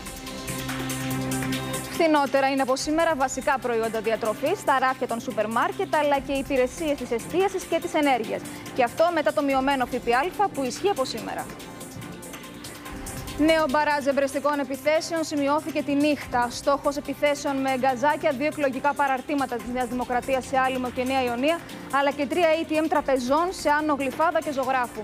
Η αστυνομία προχώρησε συνολικά σε 20 προσαγωγές. Αντίστροφη μέτρηση για την εκλογική αναμέτρηση της 26η Μαου με την κυβέρνηση και τη Νέα Δημοκρατία να παίρνουν θέσεις μάχης. Έχουμε πλέον τις βάσεις να χτίσουμε την Ελλάδα της νέας εποχής, τόνισε ο Αλέξης Τσίπρας από το Πασαλιμάνι. Να ξαναγυρίσει η οικονομία στην ανάπτυξη, έθεσε ω στόχο του Κυριάκο Μητσοτάκης από τα Χανιά. Συνεφιασμένος ο καιρός στην Αττική και τη Θεσσαλονίκη με τη θερμοκρασία έω τους 28 και τους 26 βαθμούς Κελσίου αντίστοιχα. Αυξημένη κίνηση αυτήν την ώρα και στα δύο ρεύματα του Κηφισού και της Κηφισίας τμηματικά, στην κάθοδο της Μεσογείων, στην Κατεχάκη προς Αθήνα και στην άνοδο της Συγκρού από τη Λαγκομιτζή. Κίνηση και στην Τσιμισκή και την Εγνατία προς Δυτικά, στη Θεσσαλονίκη. Λοιπόν, ευχαριστούμε την Ρο Ράντου. Επιστρέφουμε και καλημερίζουμε τον Μιχάλη τον Ιγνατίου που έχουμε τη χαρά να είναι εδώ μαζί μας. Μιχάλη, καλημέρα. Καλή σας μέρα, καλημέρα. Κρατήσαμε και τον Άβρο τον κύριο Φενέκο, ο οποίος τον φαίνομαι για τα εθνικά θέματα, όπως θυμάσαι πρωί-πρωί. Βεβαίως, ναι. Αλλά τώρα μας έκανε την έκπληξη και πήγε στο ποτάμι. Εντάξει. Έτσι δεν είναι. Λοιπόν, έχουμε και την ε, Μαρία Ζαχαράκη, νομίζω, στη σύνδεσή μας. Θα τη δούμε σε λίγο. Μιχάλη, να ξεκινήσουμε. Ε, σήμερα αλλάξαμε λίγο τη σειρά. Εποφεληθήκαμε ότι είσαι εδώ. Ναι. Δεν πήγαμε νωρίς νωρίς στι 7.30. Κανένα πρόβλημα. Για πες μας, τι γίνεται με τα εθνικά. Ε, ε, πρώτα απ' όλα να πούμε ότι ε, οι δηλώσεις του κ. Ερτογάν, θα μας πει περισσότερα η Μαρία, φαντάζομαι, έχουν ε, δημιουργήσει έτσι, ένα θυμό στην Ουάσιγκτον. Ε, διότι δεν δίνει καθόλου σημασία ε, στην ε, Αμερικανική Δημοκρατία βασικά. Ε, και εννοώ τα, όλα αυτα, όλους αυτούς τους νόμους του κράτους ε, των Ηνωμένων Πολιτειών που αφορούν το F-35, το S-400 κλπ. Οι, αντι, οι πρώτες αντιδράσεις, ακόμα δεν έχουμε από την κυβέρνηση, φαντάζομαι θα έχουμε, θα τα πούμε και από το πρωί και το βράδυ στο ρεκτείο. Οι πρώτες αντιδράσεις από τους αναλυτές είναι πάρα πολύ άσχημες. Και Και κυρίω γι' αυτό το γεγονός ότι αφισβητεί την νομοθετική διαδικασία των ΗΠΑ. Οι τελευταίες, ε, το, ε, η τελευταία αναφορά που έχουμε από την Αμερικανική κυβέρνηση στην επίσημη είναι ότι δεν μπορούν να βρίσκονται στην Τουρκία και οι S400 και τα F35. Αυτός βέβαια προκάλεσε περισσότερο. Είπε δύο πράγματα που ε, δώσαν μεγάλη σημασία. Ο, το γεγονός βέβαια ότι θα πάρει τα F35 ακόμα και αν πάρει τους S400, αλλά ανακοίνωσε ότι την εγκατάσταση πολύ πριν από αυτό που περιμέναμε. Βεβαίως, εμείς στην ΕΧΟΠΗ είχαμε πει ότι θα είναι τον ιουνιο Μμμ. και η Μαρία το είχε πει και οι πληροφορίες των Αμερικανών ήταν αυτές. Τώρα για τα εθνικά θέματα, για το θέμα της Κύπρου ειδικά, υπάρχει μια μεγάλη κινητικότητα μεταξύ της Ουάσιγκτον, της Λευκοσίας, ε, ε, άλλων πρωτευουσών με την Άγκυρα. Την Παρασκευή, όπως ξέρετε, τηλεφώνησε ο κύριος, συνομίλησε ο κύριος Μπόρτον, ο σύμβουλος Εθνική Ασφάλειας του κ. Τραμπ, με τον Νίκο τον Χριστοδουλίδη στη Λευκοσία. Ε, του επανέλαβε την απόφαση των Αλλά ΗΠΑ. ουσιαστικά μπαίνουμε στην τελική ευθεία, Μιχαλή. ε. Μπαίνουμε στην τελική ευθεία, διότι προσπαθούν να αποτρέψουν τη γεώτρηση και αυτό έχει πολύ μεγάλη σημασία. Πρέπει να αποτραπεί πάση, πάση θυσία η γεώτρηση και δεν ξέρω αυτή τη στιγμή ε, αν μπορεί να γίνει αυτό. Δεν ξέρω αν μπορεί να υποχωρήσει ο Ερτογάν, ε, επειδή έχει τις εκλογές της Κωνσταντινούπολης μπροστά του. Οπότε θεωρώ ότι μέχρι τον Ιούνιο θα το, θα Κύριε το παίζει Φερνάκο, τι λέτε; εξαιρετικά σκληρά. Είναι γεγονός ότι η γεώτρηση είναι ένα πολύ σοβαρό θέμα και το κυριότερο αυτό που με φοβίζει εμένα είναι ότι μέχρι τώρα διατηρείται μη στρατιωτικοποιημένη. Αλλά δετερμινιστικά, αν συνεχίσει, εκεί θα πάει. Αναγκαστικά κάποια στιγμή θα εμπλακούν δυνάμεις. Όμως ε, θα συμφωνήσω με τον κύριο Εγνατίου ότι πρέπει να γίνουν κάποια μέτρα τα οποία δεν είναι μόνο στο επίπεδο της διεθνούς πολιτικής σε σχέση με, με τους συμμάχους, αλλά είναι και μέσα στο ΝΑΤΟ και στην Ευρωπαϊκή Ένωση. Και έρχομαι στο ΝΑΤΟ που ο κόσμος δεν το ξέρει. Υπάρχει ένα, μια διαδικασία επίλυσης εσωτερικών συγκρούσεων στο ΝΑΤΟ που την εγκαθίδρυσαν οι τρεις πρέσβεις το 1956, ένα κείμενο που λέει Three Wise Men Report. Αυ- αυτό δίνει τη δυνατότητα στο ΝΑΤΟ να αρχίσει ένα εσωτερικό consultation προκειμένου να επιλύσει τέτοιου είδους προβλήματα. Και δεν το έχουμε επικαλεστεί. Και το δεύτερο είναι ότι θα μπορούσαμε ήδη να ξεκινήσουμε ένα καθεστώς προετοιμασία επιβολής κυρώσεων στο επίπεδο της Ευρωπαϊκής Ένωσης που υπάρχει ο μηχανισμός και ακόμα και εκεί καθυστερούμε. Από το ελληνικό λέτε, από το ελληνικό Από το ελληνικό. δε- Ναι, ο μηχανισμός, όταν ξέρει κάποιος τη διαδικασία, μπορεί να ξεκινήσει ετώντας μέτρα επί- ε, κυρώσει που είναι συγκεκριμένες. Μπορεί να είναι οικονομικές, μπορεί να είναι οποιασδήποτε μορφής. Βασιζόμενος ποιος; Στις ε, ε, συνεδριάσεις του, Συ- του, ε, του Συμβουλίου της Ευρώπης, με τους αρχηγούς των κρατών, οι οποίοι ήδη έχουν τοποθετηθεί κατά κάποιο τρόπο και ήδη παρακολουθούν την εξέλιξη. Θα πρέπει λοιπόν να προετοιμαστούμε, γιατί αν πάμε να κάνουμε κυρώσεις την τελευταία στιγμή, δεν θα προλάβουμε. Θα γίνει γεώτρηση. Μάλιστα. Ε, κοιτάξτε. Ε, ε, Μια στιγμή, ε, εμένα- Μιχάλη, να ακούσουμε και τη Μαρία Α, Τσεχαράκη. Ήθελα να βάλω Ναι, μόνο έχουμε. το, για το θέμα της Ευρωπαϊκής Ένωσης. Πρέπει να θυμίζουμε, και δεν μπο- το κάνει η ελληνική διπλωματία και η Κυπριακή, ότι η Ευρωπαϊκή Ένωση έσπευσε για χώρες που δεν είναι μέλη. Όπως είναι η Κρυμαία, η Βενεζουέλα, η Ρωσία η ίδια. Έτσι. Και δεν έχει κάνει τίποτα στο θέμα των κυρώσεων με την, ε, για την Κύπρο. Να τη Μαρία Ζαχαράκη. Μαρία μου, καλημέρα. Καλημέρα σας. Από την Αθήνα. Ε, λέγαμε και νωρίτερα ότι αλλάξαμε λίγο τη σειρά και για τους φίλους τηλεθεατές και για μας εδώ. Ε, γιατί τα προεκλογικά, όπως καταλαβαίνεις, κυριαρχούν ε, και σας αλλάξαμε λίγο τη σειρά. Ναι, είναι εβδομάδα κρίσιμη. Έτσι είναι. Για πες μας το ρεπορτάζ σου. Λοιπόν, όσον αφορά τις κυρώσεις, ήθελα να πω ότι εδώ πέρα ε, χλεβάστηκε αυτή η δήλωση που έκανε ο Πρωθυπουργός Αλέξης Τσίπρας. Βέβαια από τα πιο εθνικιστικά και φιλοκυβερνητικά μέσα εδώ, αλλά χλεβάστηκε. Λέει η Ελλάδα της κρίσης θα μας επιβάλλει και κυρώσεις. Δηλαδή σαν να κορόιδευαν ουσιαστικά αυτή την, την πρόταση, χωρίς βέβαια να λαμβάνουν υπόψη ότι αυτό, όπως είπε και ο κύριος ε, Φενέκος, ότι αυτό είναι στο πλαίσιο της Ευρωπαϊκής Ένωσης και ότι προβλέπεται κάτι τέτοιο από το μηχανισμό της. Ε, ωστόσο, θέλω να πω ποια ήταν η αντίδραση. Ε, ο κύριος Σαββούσογλου πάντως με μια επιστολή που έστειλε την Παρασκευή ε, και στην Ευρωπαϊκή Ένωση και στα μόνιμα μέλη του Συμβουλίου Ασφαλείας προσπαθεί να πείσει ε, για τα δίκαια της Τουρκίας στην Ανατολική Μεσόγειο. Καταρχάς είπε ότι το, ο Πορθητής είναι 75 χιλιόμετρα δυτικά της ε, Κύπρου και ότι εκεί δεν συμπίπτει με κάποιο τεμάχιο της Κυπριακής Δημοκρατίας και ότι εν πάση περιπτώσει ε, είναι μέσα στην τουρκική υφαλοκρηπίδα. Βλέπουμε ε, και ότι εκεί θα διεξάγει γεωτρήσεις όπως, όπως υποστηρίζουν, αλλά ακόμη βέβαια δεν έχει ξεκινήσει κάτι. Παρ' όλα αυτά όμως υπάρχει μια επικοινωνιακή πολιτική αυτή τη στιγμή που προσπαθούν ε, με αυτόν τον τρόπο να πείσουν τη διεθνή κοινότητα για ό,τι μπορεί να έπεται. Δεν το ξέρουμε τι έπεται ακριβώς, αλλά προσπαθούν σε διπλωματικό επίπεδο και σε επικοινωνιακό επίπεδο να πείσουν τη διεθνή κοινότητα ότι εμείς σας έχουμε προειδοποιήσει, εμείς σας έχουμε δείξει, όπως λέει και ο Τσαβούσογλου, και νομικά και πολιτικά ποια είναι η στάση της, ε, της Τουρκίας και θα πρέπει να δείξετε κάποιον ε, σεβασμό ή τέλος πάντων να, να δείτε τι ακριβώς λέμε και εμείς για να, για να δείτε ότι Σωστό. έχουμε και εμείς τη δική μας θέση.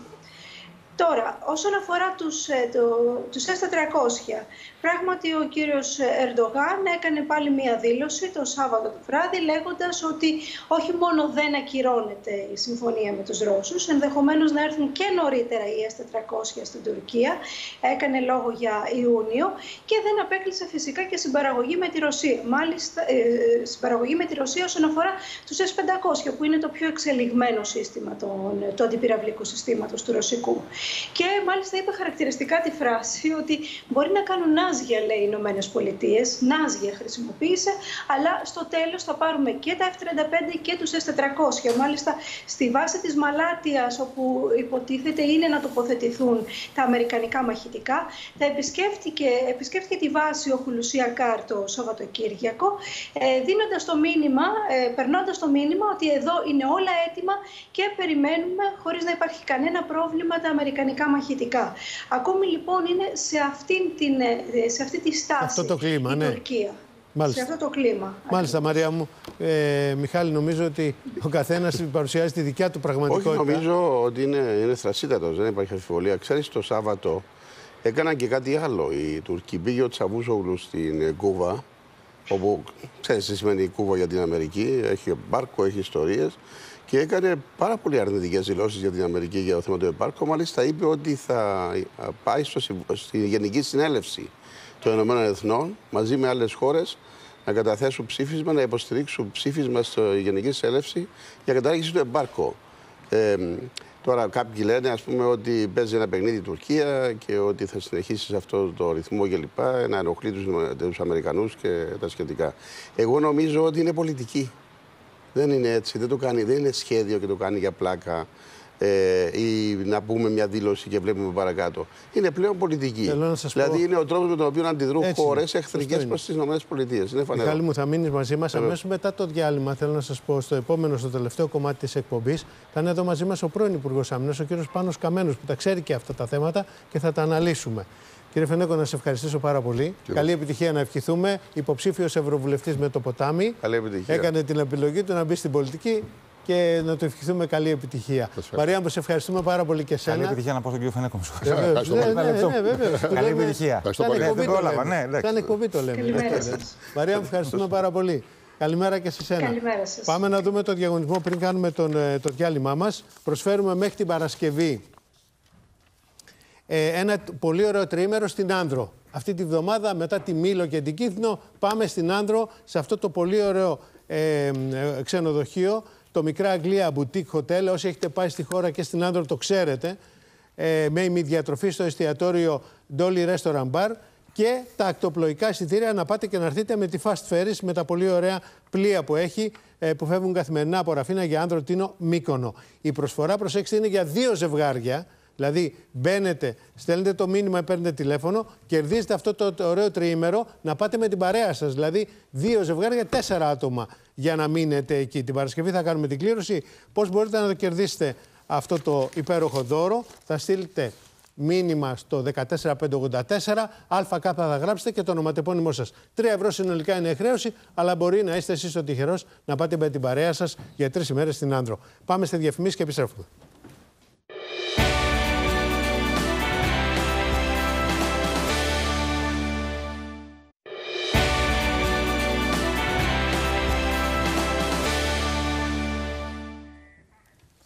Επιστρέψαμε κυρίες και κύριοι. Ο Ελλάδος 7, Ιορδάνης Κασαπόπουλος Γιάννης Σαραντάκο, ζωντανά στο ώρα του Open. Και μαζί μας, εκτός του συνάδελφου Μιχάλη Γνατίου, έχουμε τη χαρά να φιλοξενούμε τον πρόεδρο των Εξάρτητων Ελλήνων, τον κύριο Πάνο Καμένο. Κύριε Πρόεδρε, καλώς ήρθατε. Καλημέρα, σας Ανέστη. Αληθώς, ε, θα εκμεταλλευτούμε λίγο την παρουσία και τη δική σας και του Μιχάλη. Να Εγώ ξεκινήσουμε. χάρηκα που έγινε τέτοια συζήτηση προηγουμένως. Ναι. Γιατί πράγματι τα εθνικά θέματα τα οποία θα έπρεπε να μας απασχολούν αυτή τη στιγμή Έχουν μπει σε δεύτερη μοίρα. Μα είχατε κάνει και πρόταση εσείς να μην γίνει η συζήτηση για την πρόταση, δυσπιστη- την πρόταση εμπιστοσύνης και να τα αφήσουμε και να Και συζητήσουμε όχι για τα μόνο αυτό. ηλεκτρονικά. Εγώ έκανα καταρχήν μια πρόταση την οποία δεν δέχτηκε ούτε η Νέα Δημοκρατία ούτε ο ΣΥΡΙΖΑ εχθές το βράδυ. Εχθές που ήταν η μέρα της γενοκτονίας του ποντιακού ελληνισμού και πήγε ο Ερντογάν στη Σαμσούντα και προκάλεσε, είχαμε τουλάχιστον την υποχρέωση οι πολιτικές δυνάμεις να σεβαστούμε τους 359.000 νεκρούς και να ζητήσουμε όλες οι πολιτικές δυνάμεις μαζί την αναγνώριση της γενοκτονίας του ποντιακού ελληνισμού σε σε επίπεδα διεθνών οργανισμών. Ανταυτού, ο κύριος Μητσοτάκης πήγε στα Χανιά. Βλέπετε το έγκλημα το οποίο έκανε τον κύριο Μαρκογιαννάκη, ένα ιστορικό στελεχό της Νέας Δημοκρατίας, να τον πετάξει έξω από τα ψηφοδέλτια, δεν μάζεψε ούτε τα βαθιστήρια του Μακαρίδη του Μητσοτάκη στο Χανιά. Ο δε κύριος Τσίπρα. Ε, μεγάλη τα συναντήση, η, η συγκέντρωση. Καλά, Εγώ που εντάξει. είδα φωτογραφίες, όλο για το τα- για ενεργικό τα λιμάνι Χανιά- γεμάτο ήταν. Α ήταν ο Μαρκογιαννάκης, να σα πω εγώ τι συγκεντρώσεις γινόντουσαν τότε. Έτσι. Για βλέπετε άνθρωποι που δώσανε μάχε για τη Νέα Δημοκρατία. Ο Μαρκογιαννάκης, ο Γιώργος ο Βουλγαράκης, ο Γιώργος ο Ροφανός, ο Παναγιώτης Ψωμιάδης, όλοι αυτοί να παίξουν. Προαναγγέλλετε κάτι τώρα το οποίο α, εσωκομματικά... Προαναγγέλνω καταρχήν, εγώ τους στηρίζω. Τους στηρίζω όσοι κατεβαίνουν υποψήφοι δήμαρχοι και θεωρώ ότι παραδείγματος χάρη ο Βουλγαράκης, ο οποίος αδικήθηκε από τη Νέα Δημοκρατία και δικαιώθηκε και το πλήρωσε με οικογενειακό βάρος όλο αυτό, δεν μπορεί να μην στηρίζει από τη Νέα Δημοκρατία, ούτε να στηρίζει τη Νέα Δημοκρατία τον κύριο Ταχιάου στη Θεσσαλονίκη και να μην στηρίζει τον Ορφανό ή να στηρίζει τον Παναγιώτη Ψωμιάδη, να στηρίζει τον άλλο υποψήφιο, τον οποίο είναι εξαιρετικό που είχατε βγάλει από ένα από την καρδιά της Νέας Δημοκρατίας και ο οποίος στο Μακεδονικό έχει ξεκάθαρη θέση. Τα λέω αυτά διότι τα εθνικά θέματα είναι αυτά που θα πρέπει να μας απασχολούν. Ο δε κύριος Τσίπρας πήγε στον Πειραιά την ώρα της εκδήλωσης στο Ηρόδιο, ήρθε μετά στο Ηρόδιο, για τον ποντιακό ελληνισμό. Και μια στιγμή που η διεθνής κοινότητα, όπως πολύ καλά τα περιγράφει και ο κύριος Ιγνατίου και εδώ αλλά και στο site του, είναι μαζί μας. Για πρώτη φορά έχουμε μαζί μας Ισραήλ, Αίγυπτο, Ηνωμένες Πολιτείες, το State Department επίσημα, την Ευρωπαϊκή Ένωση έστω και λεκτικά, τη Ρωσία. Έχουμε χώρες που για πρώτη φορά δημόσια παίρνουν τη Ε, θέση η μας. Ρωσία όχι τόσο. Έχει κάνει deal με τον ε, Ερντογάν τώρα. Ακούστε, τι Για- με τον στο Ερντογάν Κυπριακό. κάνει. Κυπριακό όμως είναι- αλλά ο, είναι- πρέ... είναι ναι, καλή η θέση. ο πρέσβης της Ρωσίας στην Αθήνα έκανε δήλωση για το θέμα της Κύπρου ξεκάθαρο. Κοιτάξτε, στην Κύπρο έχουμε εισβολή. Εάν πάνε να κάνουν τη γεώτρηση που θα την κάνουν, θα είναι ατήλαστρία. Η γεώτρηση μπορεί να μην γίνει μέσα στα οικόπεδα για να ενοχλήσει τις εταιρείες και τις χώρες, αλλά θα γίνει εκεί που θα περάσει ο EastMed. Αυτός είναι ο στόχος τους. Ο στόχος τους είναι ξεκάθαρος. Και όταν μιλάμε για γεώτρηση, μιλάμε για κατοχή εδάφους. Μπορεί παρα- να αποτραπεί αυτό; για παραβίαση της εθνική κυριαρχία. Μπορεί να αποτραπεί. Με δύο τρόπους. Ο ένας τρόπος είναι ότι η Κυπριακή ΑΟΣ είναι Ευρωπαϊκή ΑΟΣ και θα πρέπει να κινηθεί ο Ευρωπαϊκός Αμυντικός Μηχανισμός αντί να στέλνει μόνο στο κύριο Μακρόν και ευχαριστούμε γι' αυτό το αεροπλανοφόρο, να σηκωθεί η Γερμανία, η Ισπανία, η Ιταλία και να στείλουν όλες τις ευρωπαϊκές δυνάμεις κάτω. Εάν υπάρχει ευρωπαϊκή άμυνα και αν θέλουν μια Ευρώπη της κοινής άμυνας και εξωτερικής πολιτικής, έχουν υποχρέωση να υπερασπιστούν την Ευρωπαϊκή ΑΟΣ, άρα την Κυπριακή ΑΟΣ. Και βεβαίως στα πλαίσια του ΝΑΤΟ. Εδώ όμως, λυπάμαι που το λέω, αντί να καθόμαστε να ασχολούμαστε με αυτό το θέμα το εθνικό, την ώρα που έχουμε κάθε μέρα παραβιάσεις με οπλισμένα αεροσκάφη, που θα οδηγήσουν μαθηματικά σε ατύχημα. Μιλάμε για ταχύτητες μεγάλες, μιλάμε για εμπλοκές, μιλάμε για υπερπτήσεις. Λιγότερο από χίλια πόδια. Λιγότερο από χίλια πόδια. Αλλά πέραν αυτού, έχουμε άπειρους πιλότους από την άλλη μεριά. Ο Ερντογάν έχει διώξει τους περισσότερους έμπειρους πιλότους. Τα παιδιά που ξηκώνονται από την πολεμική αεροπορία, από τη Σκύρου, από τη Λίμνο, από την Κρήτη και από όλα τα αεροδρόμια της πολεμικής αεροπορίας, ξεκινάνε και δεν ξέρουν αν θα γυρίσουν. Λοιπόν, αντί εμείς λοιπόν να βλέπουμε μπροστά μας τι θα γίνει, με δεδομένο ότι 23 Ιουνίου είναι εκλογές και ο Ερντογάν χάνει τις εκλογές στην Κωνσταντινούπολη και θα προσπαθήσει να εξάγει το θέμα, καθόμαστε και ασχολούμαστε με κότερα και τρίχες. Εκεί που πρέπει να υπάρχει μια κοινή εθνική στάση. Η θέση δική μας είναι ξεκάθαρη. Και θέλω δημόσια να το πω, θα προσπαθήσουμε να γίνει μια κυβέρνηση εθνικής ενότητας και κρούω τον κόδωνα του κινδύνου. Αν πάμε σε προεκλογική εκστρατεία μέχρι τον Οκτώβριο, θα έχουμε ζημιά. Το κράτος έχει διαλύσει. Έχουν διαλυθεί τα πάντα. Άρα τι Περιμένουν ζητάτε, όλοι. κύριε Πρόεδρε; Εκλογές τώρα, εθνικές εκλογές αμέσως μετά; Άμεσα. Άμεσα. Ή δημιουργία μιας κυβέρνησης εθνικής ενότητας μέχρι τον Οκτώβριο για να αντιμετωπίσουμε τις προκλήσεις. Ε, τι λέτε, του Τσίπρα να παραδώσει την εξουσία δηλαδή; Και τι, θα κρατάει ο Τσίπρας στην εξουσία και θα χάσουμε την Ελλάδα. Εδώ πέρα. Καλά, ο Τσίπρας βλέπετε. θα φύγει χωρίς εκλογές, λέτε. Λέω ότι θα πρέπει είτε ο κύριος Τσίπρας, αν η διαφορά είναι μικρή, να προχωρήσει άμεσα σε εκλογές και να αποφασίσει ο ελληνικός λαός ποιον θέλει να τον κυβερνήσει ή να δημιουργηθεί μια κυβέρνηση εθνικής ενότητας, είτε να ζητήσει ο κύριος Τσίπρας για εθνικούς λόγους και μέχρι τον Οκτώβριο να μην φύγουμε, να μην πάμε σε κομματική αντιπαράθεση μέχρι τον Οκτώβριο, να δημιουργήσουμε μια κυβέρνηση εθνικής ενότητας με πέντε στάνταρ που θα τα συμφωνήσουμε. Τα λεφτά μοιράστηκαν τώρα. Οι παροχές δόθηκαν. Δεν έχει να μοιράσει ούτε ο Μητσοτάκης ούτε ο Τσίπρας τίποτα παραπάνω. Και με ποιον επικεφαλής αυτής της κυβέρνησης; Α μπει επικεφαλής όποιος να είναι. Το θέμα είναι ότι να μείνει ο πρέπει κύριος να Τσίπρας. έχουμε εθνική θέση. Να Ξέρετε μην είναι ο τι κύριος γίνεται. Τσίπρας, λέτε εσείς. Δεν ξέρω ποιος θα μπει. Μα θα μπει ο κ. Μητσοτάκης με τον κ. Τσίπρα τώρα. Μα δεν στην θα μπει τον κυβέρνηση, κύριος δεν Μητσοτάκης είναι. τον κύριο Τσίπρας πιθανώς. λογικό είναι Αλλά τώρα. πρέπει να υπάρχει μια κοινή εθνική στάση. Αυτά που έρχονται για τις επόμενες μέρες θα είναι δύσκολα. Ναι, αλλά αυτό σημαίνει ότι λέτε στην κυβέρνηση ότι δεν μπορεί να χειριστείς μια δύσκολη κατάσταση. Σημαίνει, μα δεν μπορεί να πάει σε προεκλογική κατάσταση μια κυβέρνηση και να υπάρχει μια αστάθεια και να τσακωνόμαστε για τα κότερα και να κοιτάμε ποιος κάνει διακοπές με ποιον ή ποιανού ο πατέρας έκανε εργολαβία ή αν ο Μητσοτάκης έχει βάλει τον κερίδι που λέει κατά της γενοκτονίας αυτή τη στιγμή ή τα συμφέροντα του κόκαλη που έχει μπλοκάρει όλο το Υπουργείο Άμυνας αυτή τη στιγμή και δεν προχωράει τίποτα. Έχουν μπλοκάρει τα πάντα, έχουν κατεβάσει τα στυλό.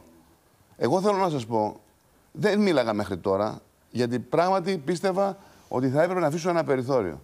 Αυτή τη στιγμή στο Υπουργείο Εθνικής Άμυνα, που θα έπρεπε να προχωράνε όλα με ρυθμούς γρήγορους, γιατί είμαστε μπροστά σε μια κρίση, δεν κάνει κανείς τίποτα. Οι ίδιοι αρχηγοί, όσα έχουν υπογράψει, με τις νέες τους ιδιότητες τα έχουν αναιρέσει. Ακυρώθηκε γιατί διαμαρτυρήθηκε ο ΣΥΡΙΖΑ του Βόλου η μετακίνηση των πεζοναυτών στον Αύσταθμο. Αυτό ξέρετε τι σημαίνει. Τρεις ώρες καθυστέρηση. Εμένα δεν με νοιάζει τι λένε οι τοπικές του ΣΥΡΙΖΑ της Νέας Δημοκρατίας, γιατί και αυτοί το κάνουν σπέκουλα. Πάντως, Υπουργέ, Για να εσείς παίρνουν για τον κύριο σάντουιτς Αποστολάκη, πεζοναύτες. λέγατε τα καλύτερα. Ακούστε, ο κύριος Αποστολάκης αυτή τη στιγμή δεν κάνει κουμάντο. Δυστυχώς λυπάμαι που το λέω. Αυτή τη στιγμή στο Υπουργείο Εθνικής Άμυνας έχουν παγώσει τα πάντα. Η πρώην γραμματέας του Παπαντονίου με τον άντρα της κάνουν το κουμάντο και οι Σιριζέοι πηγαίνουν μέσα και απαιτούν. Δεν μπορεί να απαιτεί ο ΣΥΡΙΖΑ του Βόλου να μην μετακινηθεί η μονάδα πεζών αυτών και εμείς να έχουμε τρεις ώρες καθυστέρηση. Ποιος ο κύριος Ρίγα λέει. Σας λέω, ας βρούνε ποιοι είναι. Εγώ ξέρω ότι αυτά που υπέγραψε ο Αποστολάκης ο αρχηγός Γεθά δεν τα κάνει. Αυτή τη στιγμή η ΕΑΒ θα κλείσει. Τον Οκτώβριο η ΕΑΒ θα κλείσει εάν δεν προχωρήσει η αναβάθμιση των F-16 και να περάσει τροπολογία για να ξεκινήσει η ΕΑΒ να δουλεύει την αναβάθμιση. Μήπως είναι εν ώψη εκλογών όλα αυτά. Δηλαδή, η- Δεν είναι εν ώψη είτε εκλογών. μείνει η κυβέρνηση είτε όχι. Είναι εδώ πέντε έχουμε μήνες. εκλογές τον Οκτώβριο. Ο κύριος Χριστοδούλος, αρχηγός Γεθά, έχει υπογράψει σαν αρχηγό τη αεροπορία στη διακρατική με το Ισραήλ. Την κρατάει στο σιρτάρι του. Δεν ξέρω αν του το επιβάλλουν. Αν το επιβάλλουν, ακόμα χειρότερο. Ή αν το κάνει από μόνος του. Πάντως έχουν παγώσει τα πάντα. Η αναβάθμιση του 11 Είμαστε πρέπει να μπροστά γίνει μας. μέσα στο 19. Πρέπει να την πάρει η ΕΑΒ. Λείπει Και μια να ξεκινήσει τροπολογία. άμεσα, λέτε. την έχει υπογράψει και ο Χριστοδούλος, αρχηγός της αεροπορίας, και ο Αποστολάκης, αρχηγός Γεθά. Εάν διαφωνούν, να την ακυρώσουν. Αλλά εάν η ΕΑΒ δεν πάρει το έργο αυτή τη στιγμή, η ΕΑΒ θα κλείσει. Πάνε τώρα οι πολιτικοί αρχηγοί. Εγώ δεν πήγα πουθενά. Ούτε θα πάω. Εγώ δεν θα πάω να επηρεάσω το στράτευμα. Πήγα στη Λάρισα και δεν πήγα όπως ο κ. Μεταξύ στην πρώτη στρατιά, ούτε στο ΑΤΑ. Θα ήθελα να πάω. Είναι άνθρωποι με τους οποίους εργάζομαι τέσσερα χρόνια και τους αγαπώ και τους εκτιμώ και τους σέβομαι. Αλλά δεν θα πάω να επηρεάσω τον κόσμο προεκλογικά. Ζητάω την ψήφο των στρατιωτικών γιατί ήμουν κοντά τους. Αλλά δεν θα εμπλακώ ποτέ και δεν θα εμπλέξω ποτέ το στράτευμα μέσα στη Και αυτή η αδράνεια, διαδικασία αυτή. γιατί πιστεύετε ότι υπάρχει; Δηλαδή, μήπως είναι και εν ώψη- μήπως υπάρχει απλά η προεκλογική αδράνεια; Άρα λοιπόν αυτό ακριβώς υπάρχει. Η προεκλογική αδράνεια, η οποία όμως θα συνεχιστεί μέχρι τον Οκτώβριο, αν πάμε για εκλογές τον Οκτώβριο, και από εκεί και πέρα τα αποτελέσματα θα είναι τραγικά. Ο μεν μετασχηματισμός του στρατεύματος που είναι άμεσα απαιτητός να γίνει, δεν θα γίνει. Γιατί θα λέει ο ΣΥΡΙΖΑ του Βόλου και η Νέα Δημοκρατία του Βόλου, μην πάρετε τους πεζοναύτες, που θα πάμε εκεί πέρα Αμερικάνους στρατιωτικούς, έτσι. Μετατρέπεται η βάση του Βόλου σαν την κύρια βάση ελικοπτέρων του ΝΑΤΟ, έτσι. Θα πάνε χίλιες οικογένειες εκεί. Δεν θα έχουν θέμα έχουμε τις υποθέσεις όλες με την ενέργεια. Η Αλεξανδρούπολη μετατρέπεται πέρα από το κύριο λιμάνι του ΝΑΤΟ για τα Βαλκάνια στην μεγαλύτερη τράπεζα αποθήκευσης φυσικού αερίου. Δεν προχωράνε. Δεν προχωράει η υπογραφή με την ExxonMobil νότια της Κρήτης. Εδώ έχουμε μπροστά μας κρίση. Η Τουρκία θα δαγκώσει. Και δεν πιστεύω ότι θα γίνει πολεμικό, εμεί να μην φοβήσουμε και τον κόσμο, λέγοντας ότι θα γίνει πολεμική ενέργεια. Αλλά ο Ερντογάν απειλεί με 4 εκατομμύρια μετανάστες και πρόσφυγες απέναντι. Αν αμολύσει 2.000 βάρκες αύριο το πρωί σε ένα νησί, Υπουργέ, αυτό θέλω- είναι πολεμική πράξη. Θέλω να σα ρωτήσω Ήθελα κάτι. να Μιχάλης; ρωτήσω, κύριε Υπουργέ, το επίπεδο των σχέσεων με την Αμερική όταν ήσασταν- όταν ήσασταν υπουργός ήταν ε, πάρα πολύ καλό, εξαιρετικό. Έχει, έχει αλλάξει κάτι, διότι καταλαβαίνω από αυτά που λέτε τόση ώρα ότι κάτι συμβαίνει στο Υπουργείο Φοβάμαι πως Άμυνας. έχει αλλάξει. Πρώτα απ' όλα έχει αλλάξει το ότι οι κινήσεις αυτές με τον Κουφοντίνα και με η παρέμβαση της κυβέρνησης για να αποφυλακιστεί ένας στέλεχο τη 17 Νοέμβρη ενοχλούν ιδιαίτερα τις ΗΠΑ. Έχουν νεκρούς Αμερικανούς πολίτες, Αμερικανούς διπλωμάτες, Αμερικανούς στρατιωτικούς. Το να το κάνουν αυτό λίγες μέρες πριν από τις εκλογές για να μην ε, ε, επηρεάσουν τους τύπους του Ρουβίκονα που πάνε υπογρα- υποδέχονται τον Κουφοντίνα έξω από τη φυλακή είναι απαράδεκτο. Το δεύτερο είναι ότι όλες οι συμφωνίες με τις ΗΠΑ πρέπει να προχωρήσουν. Εγώ δεν μιλάω για γνωμοσύνη. Κάναν τον Πάπα Θρή προχθές που α, αλίμονο τι άκουσα. Άκουσα για σαπάκια, με χτύπαγε γέννηματά. Τώρα βγάζει ο κύριος Πάγια φωτογραφία με τη γέννηματά. Με χτύπαγε ο Θοδωράκης και στην, στην εκδήλωση δεν στείλαν ούτε πρόσκληση με απόφαση του κυρίου Αποστολάκη. Λέει για να μην ενοχλήσουμε την Ποια εκδήλωση ξαναπείτε γιατί δεν Δεν ακούστηκε. πειράζει, χαλάλη. Σε ποια εκδήλωση; Για το Πάπα Θρή. Τα, τα, να- τα αεροσκάφη της ναυτικής συνεργασίας. Τα οποία θα σηκωθούν και θα αποκλείσουμε ένα μεγάλο αβαντάζ των Τούρκων. Αλλά αυτό είναι το λιγότερο. Ούτε ένα ευχαριστώ δεν είπαν. Μόνο ο αρχηγός του ναυτικού είπε ανώνυμα. Δεν πειράζει. Χαλάλη του. Α κάνουν τη δική τους καριέρα και τους έχουμε και καλή επιτυχία. Το θέμα είναι ότι τεινάζουν στον αέρα της σχέσης μας. Δεν μπορεί με το Ισραήλ, το οποίο αυτή τη στιγμή είναι δίπλα μας, επειδή είναι προεκλογική περίοδος, ο κύριος Χριστοδούλου που είναι αρχηγός ΓΕΘΑ και έχει υπογράψει ο αρχηγός του ΓΕΑ προς τιμήν του τη διακρατική συμφωνία, την κρατάει στο σιρτάρι του. Για να τι, να απειλήσει τον Νετανιάχου, να απειλήσει τους Ισραηλινούς ότι κοιτάξτε να δείτε ψηφίστε μας για να βγούμε. Αυτά είναι απαράδεκτα πράγματα. Με τους Αμερικανούς δε, την ώρα που το State Department είναι δίπλα μας. Είδαμε το Μεντερές τι κάνει. Είδαμε από τους Ρεπουμπλικάνους που πράγματι μας στηρίζουν και τους Δημοκρατικούς. Ο Κρι Πύρου άνθρωπος κάνει ένα τεράστιο αγώνα στην Ελλάδα για το θέμα του ονομού της Μακεδονίας. Θα πάμε εμείς τώρα να τεινάξουμε στον αέρα τι ελληνοαμερικανικές σχέσεις. Ο κύριος σύμμαχός μας και ενώπιση των ευρωεκλογών είναι οι Ηνωμένες Πολιτείες. Και είναι το Ισραήλ, η Αίγυπτος και οι χώρες της Μεσογείου. Η Ευρώπη δεν υπάρχει. Η Ευρώπη είναι οι δηλώσεις της κυρίας Μογκερίνη, οι οποίες φτάνουν μέχρι δηλώσεις, και όταν είναι ξεσούρωτος ο κύριος Γιούγκερ, ρίχνει και αυτός μια δήλωση. Θέλουν ευρωπαϊκή άμυνα, την οποία θα απαιτήσουμε να ενεργοποιηθεί το άρθρο και να κατεβούν τα πλοία της Ευρωπαϊκής Ένωσης να υπερασπιστούν την Ευρωπαϊκή Ένωση, δηλαδή την Κυπριακή ΑΟΣ. Αυτά όλα απαιτούν εθνική ομοψυχία. Δεν μπορούμε εμείς να διαλύουμε το κλίμα και να συζητάμε για τρίχες την ώρα που μπροστά μας έχουμε απειλή εισβολής με τη γεώτρηση. Έχουμε θερμά επεισόδια καθημερινώς στο Αιγαίο με τις συνεχείς παραβιάσεις του εθνικού εναερίου χώρου. Έχουμε τον Ερντογάν Σαμσούντα. Και ο ένας μιλάει με, τους, με τα βαφτιστήρια τους στα Χανιά, και ο άλλος μεταφέρει Ρωμά, αντί να τους μεταφέρει από την Αγία Βαρβάρα και το Μενί, τους φέρνει από την Ξάνθη στον Πειραιά. Για το όνομα του Θεού. Για το όνομα του Θεού. Να σου πω, εσείς γιατί βγήκατε χθες και είπατε ότι αφισβητήσατε τις δημοσκοπήσεις; Α, καλά, αυτό ήταν απίθανο. Ε, με, με τσακίσανε. Με, ε, δεν, έχω περάσει πέντε εκλογές, με βγάζουν μεταξύ 0,35 και 1, 1,5, 2 και παίρνουμε 5 και 4,7 κτλ. Ε, τι να κάνουμε, πήρα 400 συνεργάτες μου περίπου, 385, τους είπα, παιδιά, αν σας πάρουν για δημοσκόπηση, δώστε συγκεκριμένα στοιχεία για να δούμε αν θα τις καταμετρήσουν. Τρεις από τις εταιρείες πράγματι πέσαν στα δίκτυα μας, μία εξ αυτών η μέτρων ανάλυσης. Πήραν τον Γιώργο τον Κούσουλα, τον δημοσιογράφο, τον συνάδελφό σας. Του λέω, είσαι, λέει, εργάζεσαι κόμμα, είσαι δημοσιογράφος, λέει όχι. Λέει πόσο χρόνο, 45. Πολύ ωραία. Τι ψηφίζεις ανεξάρτητου Έλληνε. Τελειώνει η δημοσκόπηση, βγαίνουν τα αποτελέσματα, ανάλυση των δημοσκοπήσεων. Ηλικία 45 ετών άνδρας, την συγκεκριμένη ημερομηνία που τον πήραν τηλέφωνο στο σπίτι του. Πόσους ψήφους έχουν ανεξάρτητοι Έλληνες, μηδέν. Είναι σαν αυτούς τα χωριά παλιά που είχαν τσακωθεί οικογένειες γιατί δεν τους ψήφισαν οι γονείς τους. Λοιπόν, Είστε αυτά τα ποταμός, πράγματα είναι κύριε κάρικε Πρόεδρε. ηλικία. Ακούστε κάτι. Ο ελληνικός λαός Και με αυτό να δεν κλείσουμε, αποφασίζει ελάτε. με δημοσκοπήσεις. Πρέπει ο ελληνικός λαός να αποφασίζει για τις ευρωεκλογές. Δεν ψηφίζουμε για κυβέρνηση, για ευρωεκλογές ψηφίζουμε. Οι ευρωεκλογές έχουν να κάνουν με την εκπροσώπηση στο Ευρωπαϊκό Κοινοβούλιο. Δεν μπορεί στο Ευρωπαϊκό Κοινοβούλιο από μια μεριά να είναι ο Κερίδης που λέει για τη γενοκτονία του Ποντιακού Λύσμου ότι δεν υπάρχει και ότι το Κυπριακό είναι θέμα εσωτερικό των Ελλήνων. Είναι απαράδεκτα πράγματα. Ευχαριστούμε Ούτε πάρα από την πολύ, άλλη κύριε μεριά του Καμένο. ΣΥΡΙΖΑ να είναι ο κύριος Κόκαλης, ο οποίος είναι και προμηθευτής του Υπουργείου Εθνικής Άμυνας.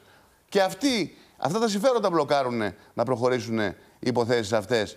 Και η κυρία Κουντρά που είναι η βασιλική συνιστόσα. Να σοβαρευτούμε όλοι, να δούμε ότι η πατρίδα μας αυτή τη στιγμή περνάει μια δύσκολη περίοδο. Οι ανεξάρτητοι Έλληνες θα είμαστε σταθεροί στις αρχές μας, θα επιδιώξουμε κυβέρνηση Εθνικής Ενότητας και θα παλέψουμε για την κατάργηση της συμφωνίας των Πρεσπών, που είναι μια προδοτική συμφωνία. Ευχαριστούμε πάρα πολύ. Καλή επιτυχία, καλά. κύριε Πρόεδρε. Ευχαριστούμε Να είστε πάρα καλά. πολύ, κύριε Να είστε Πρόεδρε. καλά.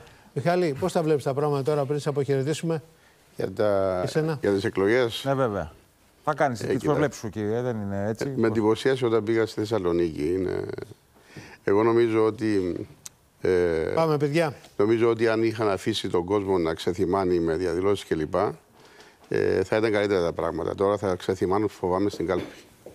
Για το Σκοπιανό λες. το Σκοπιανό, ναι. Θα παίξει ρόλο το Σκοπιανό ουσιαστικά Ε, αυτό. από λες. ό,τι είδα, ε, πήγα δύο-τρει φορές πάνω και τα πράγματα είναι άγρια. Ναι. Τουλάχιστον με αυτούς που Εξακολουθούν να είναι συνάντησα. έτσι. Εξακολουθούν να είναι Τουλάχιστον με αυτούς που συνάντησα. Ε, αυτό, άρα ε, θα κυριαρχήσει, παρότι λέμε για την Ευρώπη κλπ. Θα ψηφίσει ο, ο Έλληνας και με εθ- εθ- εθνοκεντρικά, να το πω έτσι. Πάντως ήθελα να επαναλάβω ότι για το θέμα του Ερτογάν και να κλείσουμε. Ε, είναι πλέον η κατάσταση του ε, επικίνδυνη κατά τη, κατά τη γνώμη μου. Και μ, αν, το, αν, αν αναλύσει κανείς τις δηλώσεις του τις χθεσινές, δείχνει και κάτι άλλο. Ότι ε, ε, δεν δίνει καθόλου σημασία τι θα κάνουν οι Αμερικανοί. Και εγώ, ε, εγώ ενώ μερικές φορές έλεγα αυτό που λέει και ο Γιάννης, ότι πάλι θα κάνει κολοτούμπα κλπ. κλπ. Πρέπει να έχει πάρει τις αποφάσεις του πια. Και για το θέμα της οικονομίας που πραγματικά κινδυνεύει, αισθάνομαι ότι μπορεί οι Ρώσοι να του υποσχέθηκαν ότι θα το βοηθήσουν. Θα το δούμε, Μιχάλη, στην πορεία. Ε, Να καλωσορίσουμε σε αυτό το σημείο τον υποψήφιο δήμαρχο Πειραιά, τον κύριο Μπελαβίλα. Καλώς ήρθατε, κύριε, Καλημέρα κύριε σας. Μπελαβίλα. Καλή επιτυχία και σε εσάς, κύριε Ευχαριστώ Μπελαβίλα. πολύ. Για Καλή βήματα. δύναμη σε εσάς αυτή τη βδομάδα. Είχατε χθες τον κύριο Τσίπρα στο, στην πόλη. Είχαμε χθες μια συγκέντρωση στο Πασαλιμάνι. Ο Πειραιάς δεν κάνει μεγάλες πολιτικές συγκεντρώσεις. Ο παλιός Πειραιάς, ο κεντρικός Πειραιάς. Κάνει Νίκαια, κάνουν οι άλλες συνοικίες. Ε, η συγκέντρωση ήταν τέσσερις φορές μεγαλύτερη από το 2014 και το λέω γιατί ήμουν ο συντονιστής της συγκέντρωσης του 2014. Και μου είπαν παλιοί του Πασόκ ότι ούτε ο γεννηματάς του 81 δεν το είχε φτάσει τόσο πολύ το Πασαλιμάνι. Τέλος πάντων, ήταν μια μεγάλη συγκέντρωση η οποία είχε απειληθεί να μην γίνει. Μην τολμήσετε να κατέβετε στον Πειραιά. Μην τολμήσετε να κατέβετε στο Πασαλιμάνι όπως το Μάρτι με είχαν απειλήσει να μην τολμήσω να μπω στα καμίνια, καθώς θεωρούν κάποιοι ότι τα δημοκρατικά καμίνια είναι φεουδό του. Λοιπόν, πήγαμε στα καμίνια με πολύ κόσμο, πήγαμε στο Πασαλιμάνι με πάρα πολύ κόσμο χθες και κλείνουμε σιγά σιγά αυτό το κεφάλαιο που μάλλον ήταν ένα σκοτεινό κεφάλαιο στην ιστορία Από του πού Πειραιά. απειληθήκατε; Από Λούμπεν ιστοσελίδες που περιφέρονται στην ε, περιφέρεια μιας οπαδικής κατηγορίας σελίδων. Ευθέως έχουν πάει στο ηλεκτρονικό έγκλημα, έχουν πάει ε, avatar και περίεργες ομάδες του διαδικτύου οι οποίες ε, γράφαν από τον Νοέμβριο πράγματα που δεν τα έχω ξαναδεί. Είμαι στην πολιτική και στον ακτιβισμό και στη δράση. Δεν τα έχω ξαναδεί και δεν υπήρχαν στον Πειραιά ποτέ. Ε, το ότι δεν τολμούσαν να στήσουν το κιόσκι μας στο νέο Φάληρο, το κιόσκι του συνδυασμού, είναι πρωτοφανές. Ότι παρακαλούσαν οι έμποροι, μην το βάλετε εδώ γιατί κινδυνεύουμε, είναι πρωτοφανές. Συμμετέχω εδώ και 20 χρόνια στα δημοτικά πράγματα του Πειραιά. Ε, αυτή η εικόνα των απειλών που είχε επαναληφθεί για την προηγούμενη φορά εναντίον του Βασίλη του Μιχαλολιάκου, το έχει καταγγείλει ο ίδιος, εναντίον του Θοδωρή του Ρίτσα, το έχει καταγγείλει ο ίδιος, ε, είναι μια ιστορία, μια ε, κατάσταση που πρέπει Πάμε κύριε να Μπελαβίλα στο εξαφανιστεί. θετικό κομμάτι. Ε, Αν, θέλω να σα ρωτήσω αυτό που ρωτάω όλους τους υποψηφίους δημάρχους των μεγάλων πόλεων, αν η ψήφος θα είναι για την πόλη του Πειραιά, αν θα είναι πολιτική η ψήφος. Δηλαδή, εγώ έχω θυμώσει με τη σύνταξη, άρα ο Μπελαβίλας είναι ΣΥΡΙΖΑ, μπορεί να ψηφίσω κάποιον άλλον. Ή έχω ε, στεναχωρηθεί με τη Νέα Δημοκρατία, θα ψηφίσω τον Μπελαβίλα, όχι γιατί τον πιστεύω σαν δήμαρχο, αλλά γιατί υποστηρίζεται από το ΣΥΡΙΖΑ. Ακούστε, είναι φυσιολογικό. Ναι. Ένας κόσμος ρημαγμένος, ένας κόσμος ταλαιπωρημένος, ένας κόσμος ο οποίος υπέστη όλα αυτά που υπέστη και ιδιαίτερα στις περιοχές δικές μας ξεχασμένες, λειτουργούν και έτσι. Στις περιοχές τις δικές μου. Ο κόσμος δεν με ρωτάει τι γίνεται με τη σύνταξη. Ο κόσμος ρωτάει τι θα κάνω στην παλιά κουκκινιά. Ο κόσμος ρωτάει τι θα κάνω στην πυρακή. Ο κόσμος ρωτάει τι σχεδιάζεται. Είσαι καθηγητής του Πολυτεχνείου. Πες μας, τι θα γίνει το κυκλοφοριακό διότι ασφικτικά ο πειράς. Αυτό είναι το πιο ευχάριστο από όλα. Δεν είχαμε ποτέ, εδώ και τρεις μήνες τώρα, στα καφενεία και είμαστε πια σχεδόν κάθε μέρα, συζητήσεις περί συντάξεων, περί μακεδονικού, περί κεντρικής πολιτικής σκηνής. Το ότι βρίσκομαι στη θέση του ΣΥΡΙΖΑ, βρίσκομαι στο μέτωπο του ΣΥΡΙΖΑ, δεν το κρύψα ποτέ. Όμως δεν είναι πια μόνο αυτό. Είναι η Δημάρ, είναι ο κόσμος των Ανέλ, είναι ο κόσμος των οικολόγων, είναι ένα ευρύ φάσμα. Και από την άλλη πλευρά, το ευχάριστο είναι ότι και στο συνδυασμό Βλαχάκου, ε, το συνδυασμό της Νέας Δημοκρατίας, πάλι η πίεση είναι προς αυτή την κατεύθυνση. Δεν είναι στο αν θα πάρει την κυβέρνηση τη Νέα Δημοκρατία. Νίκο Βλαχάκο, πες μας τι λες για τον Πειρά. Ερώτηση. Ποιο είναι το πρώτο πράγμα που θέλετε να εστιάσετε την προσοχή σας αν εκλεγείτε δήμαρχος, είτε την πρώτη που δεν είναι πιθανό, τη δεύτερη Κυριακή. Ποιο είναι το πρώτο πράγμα, κάτι συγκεκριμένο, κύριε Μπελαβίλα. Να λιώσω τα παπούτσια μου στις γειτονιές, λύνοντας την καθημερινότητα. Τα μεγάλα έργα ξέρω να τα σχεδιάζω. Η ιδιότητά μου, η θέση μου, η θεσμική μου θέση είναι ταυτισμένη με αυτά πολλά χρόνια. Τα μικρά, αυτά τα καθημερινά συνειδητοποιήσω ότι είναι τα πιο σημαντικά ε, για τους ανθρώπους. Ο κόσμος στα καμίνια, αυτό που λέει ο κόσμος στην παλιά κοκκινιά, δεν τον ενδιαφέρει. τι θα Καθημερινότητα γίνει. τι εννοείται, Με το- σκουπίδια, ασφάλεια, Εννοώ τα τι; σκουπίδια, εννοώ την ανακύκλωση, εννοώ το- τα σχολεία και τη συντήρησή τους, εννοώ τους παιδικούς σταθμούς, εννοώ το φωτισμό, εννοώ την φροντίδα για Αυτά. του ανθρώπους που έχουν ανάγκη. Αυτό που λέμε καθημερινότητα, αυτό το κυκλοφοριακό εκεί στον Πειραιά, στον ηλεκτρικό, πότε θα λυθεί; Είναι κουβάρι αυτό το κυκλοφοριακό. Πότε θα λυθεί. Ζήτησα και ευτυχώς αντιγράφοντάς μας σε διάφορα, ε, αντέδρασε αμέσως ο Δήμος το Φλεβάρι και ζήτησε άμεση αναθεώρηση της κυκλοφοριακής μελέτης. Άμεση. Έχουν γίνει λάθη στην κυκλοφοριακή μελέτη του Πειραιά. Είναι λάθος μονοδρομής. Το ξέρουμε τέσσερα χρόνια. Θα τελειώσει ο σταθμός του μετρό το 2021. Τελειώσαν τα έργα του τραμ. Αποτιμούμε αμέσως την κατάσταση. Ήδη έχει δρομολογηθεί και αναθεωρούμε την μελέτη μαζί με ελεγχόμενη στάθμευση για να σταματήσει το έσχος της διπλο, ε, της- των διπλών ζωνών παρκαρισμένων στο κέντρο του Πειραιά. Δεν συμβαίνει στην Αθήνα αυτό. Στον Πειραιά συμβαίνει. Στην Ακαδημία δεν τολμάει κανείς να αφήσει το αυτοκίνητό του. Ε, στον Πειραιά αφήνουν τρεις σειρές αυτοκίνητα απόλυτο δίκιο. χωρίς να επεμβαίνει ο Δήμαρχος γι' αυτό. Μάλιστα. Και Βελαβίλα, και εμείς θα ευχηθούμε καλή επιτυχία και καλή δύναμη την τελευταία αυτή εβδομάδα. Ευχαριστώ και για τη φιλοξενία Εμείς στο σταθμό σας. ευχαριστούμε πάρα πολύ που σας είχαμε καλεσμένο. Να είστε καλά. Εμείς κυρίες και κύριοι, φτάνοντας στο τέλος της εκπομπής, θέλουμε να συνοψίσουμε. Έγιναν ε, την Κυριακή πολλές και μεγάλες εκδηλώσεις με αφορμή τα 100 χρόνια α, που συμπληρώθηκαν από την ε, γενοκτονία των Ποντίων. Ε, εκδηλώσεις μνήμης έγιναν στη Θεσσαλονίκη, ε, στην Αθήνα. Ε, η Βουλή ε, φωτίστηκε με τα χρώματα Α δείξουμε μερικές εικόνες για αυτούς που δεν τα έχουν δει. Ναι. Γιατί είναι και πολλοί άνθρωποι που το Σαββατοκύριακο δεν μπόρεσαν να δουν τηλεόραση, ή μπο- εν πάση περιπτώσει δεν έπεσαν πάνω σε αυτές τις δεκάδες εκδηλώσεις. Είχε πολύ ωραίο χρώμα και πολύ μαζικότητα. Εμένα αυτό Ακριβώς. μου έκανε εντύπωση. Από ότι τις πήγε πολλοί πιο, κόσμος. πιο έντονα και μ, αν θες συγκινησιακά φορτισμένες στιγμές ήταν η αλλαγή φρουράς στο μνημείο του αγνώστου στρατιώτη στην πλατεία του Συντάγματος όταν πόντι οι Εύζωνες, βλέπουμε την α, σχετική εικόνα, αντικατέστησαν στους Ολιάδες ε, ενώ το βράδυ η Βουλή των Ελλήνων, όπως α, σας είπα ήδη, φωτίστηκε με κόκκινο χρώμα. Ε, Και στη Θεσσαλονίκη έγιναν πολύ ωραίε εκδηλώσει, δεν είναι. Ναι, ναι. Μαζεύτηκε κόσμο πάρα πολύ εκεί και στην πλατεία Αριστοτέλους και στο κέντρο τη Θεσσαλονίκη. Πήγανε ε, από όλη σχεδόν τη Βόρεια Ελλάδα. Ε, είχαμε αυτές τις εκδηλώσεις για τα 100 χρόνια. Αν μπορούμε να ακούσουμε, παιδιά, mερικά έτσι λίγο ήχο.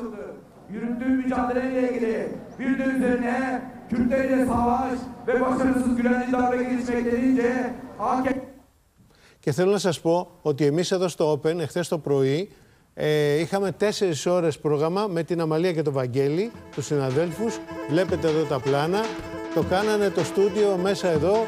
Ε, η χαρά, ε, τι να σου πω, ε, επειδή τα είδα όλα αυτά τα πράγματα, είχε συγκροτήματα, είχε πολύ χρώμα, είχε κόσμο, είχε μουσική. Βλέπετε εδώ πώς, ε, τι έγινε μέσα στο στούντιο. Δεν το πιστεύαμε κι εμείς ότι μέσα αυτό το στούντιο μπορεί να χωρέσει τόσος κόσμος και να μεταφέρει αυτόν τον παλμό των ποντίων. Και μπράβο στα παιδιά ε, και στο Open βέβαια ε, που το σκέφτηκε και υλοποίησε αυτό το, ε, με- πώς το λένε, αυτό το, το ωραίο τετράωρο. Ε, Μέσα στο πλαίσιο αυτό και το Open έχει αναλάβει την παραγωγή μιας ε, εκπληκτικής κατά τη γνώμη μου σειράς ε, με την υπογραφή Μανουσάκη, οπότε καταλαβαίνεις. ε, Η σειρά θα είναι το κόκκινο ποτάμι, το οποίο βασίζεται σε μ, βιβλίο ε, το οποίο περιγράφει γεγονότα, είναι καταγραφή μιας προσωπικής ιστορίας η οπ- και μέσα από την προσωπική ιστορία ε, βιώνει ο τηλεθεατής ε, τις καταστάσεις εκείνης της ε, έτσι, εποχής.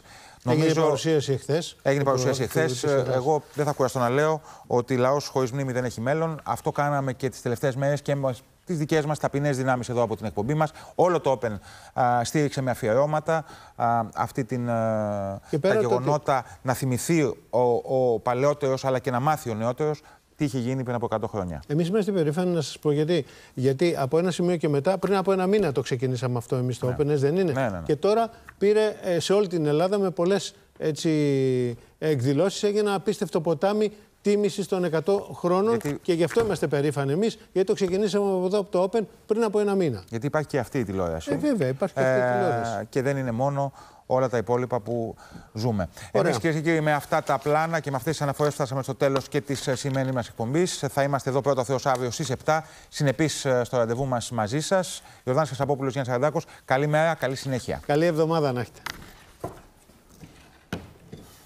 Κοινωνικές παροχές και επενδύσεις Βελτιώσεις Αναδομήσεις, προτάσεις και βάσεις Επεμβάσεις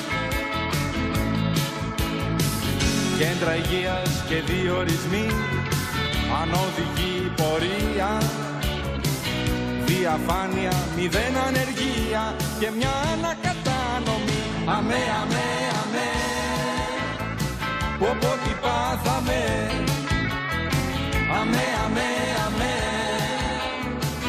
Κονομίζαμε. Συνασπισμοί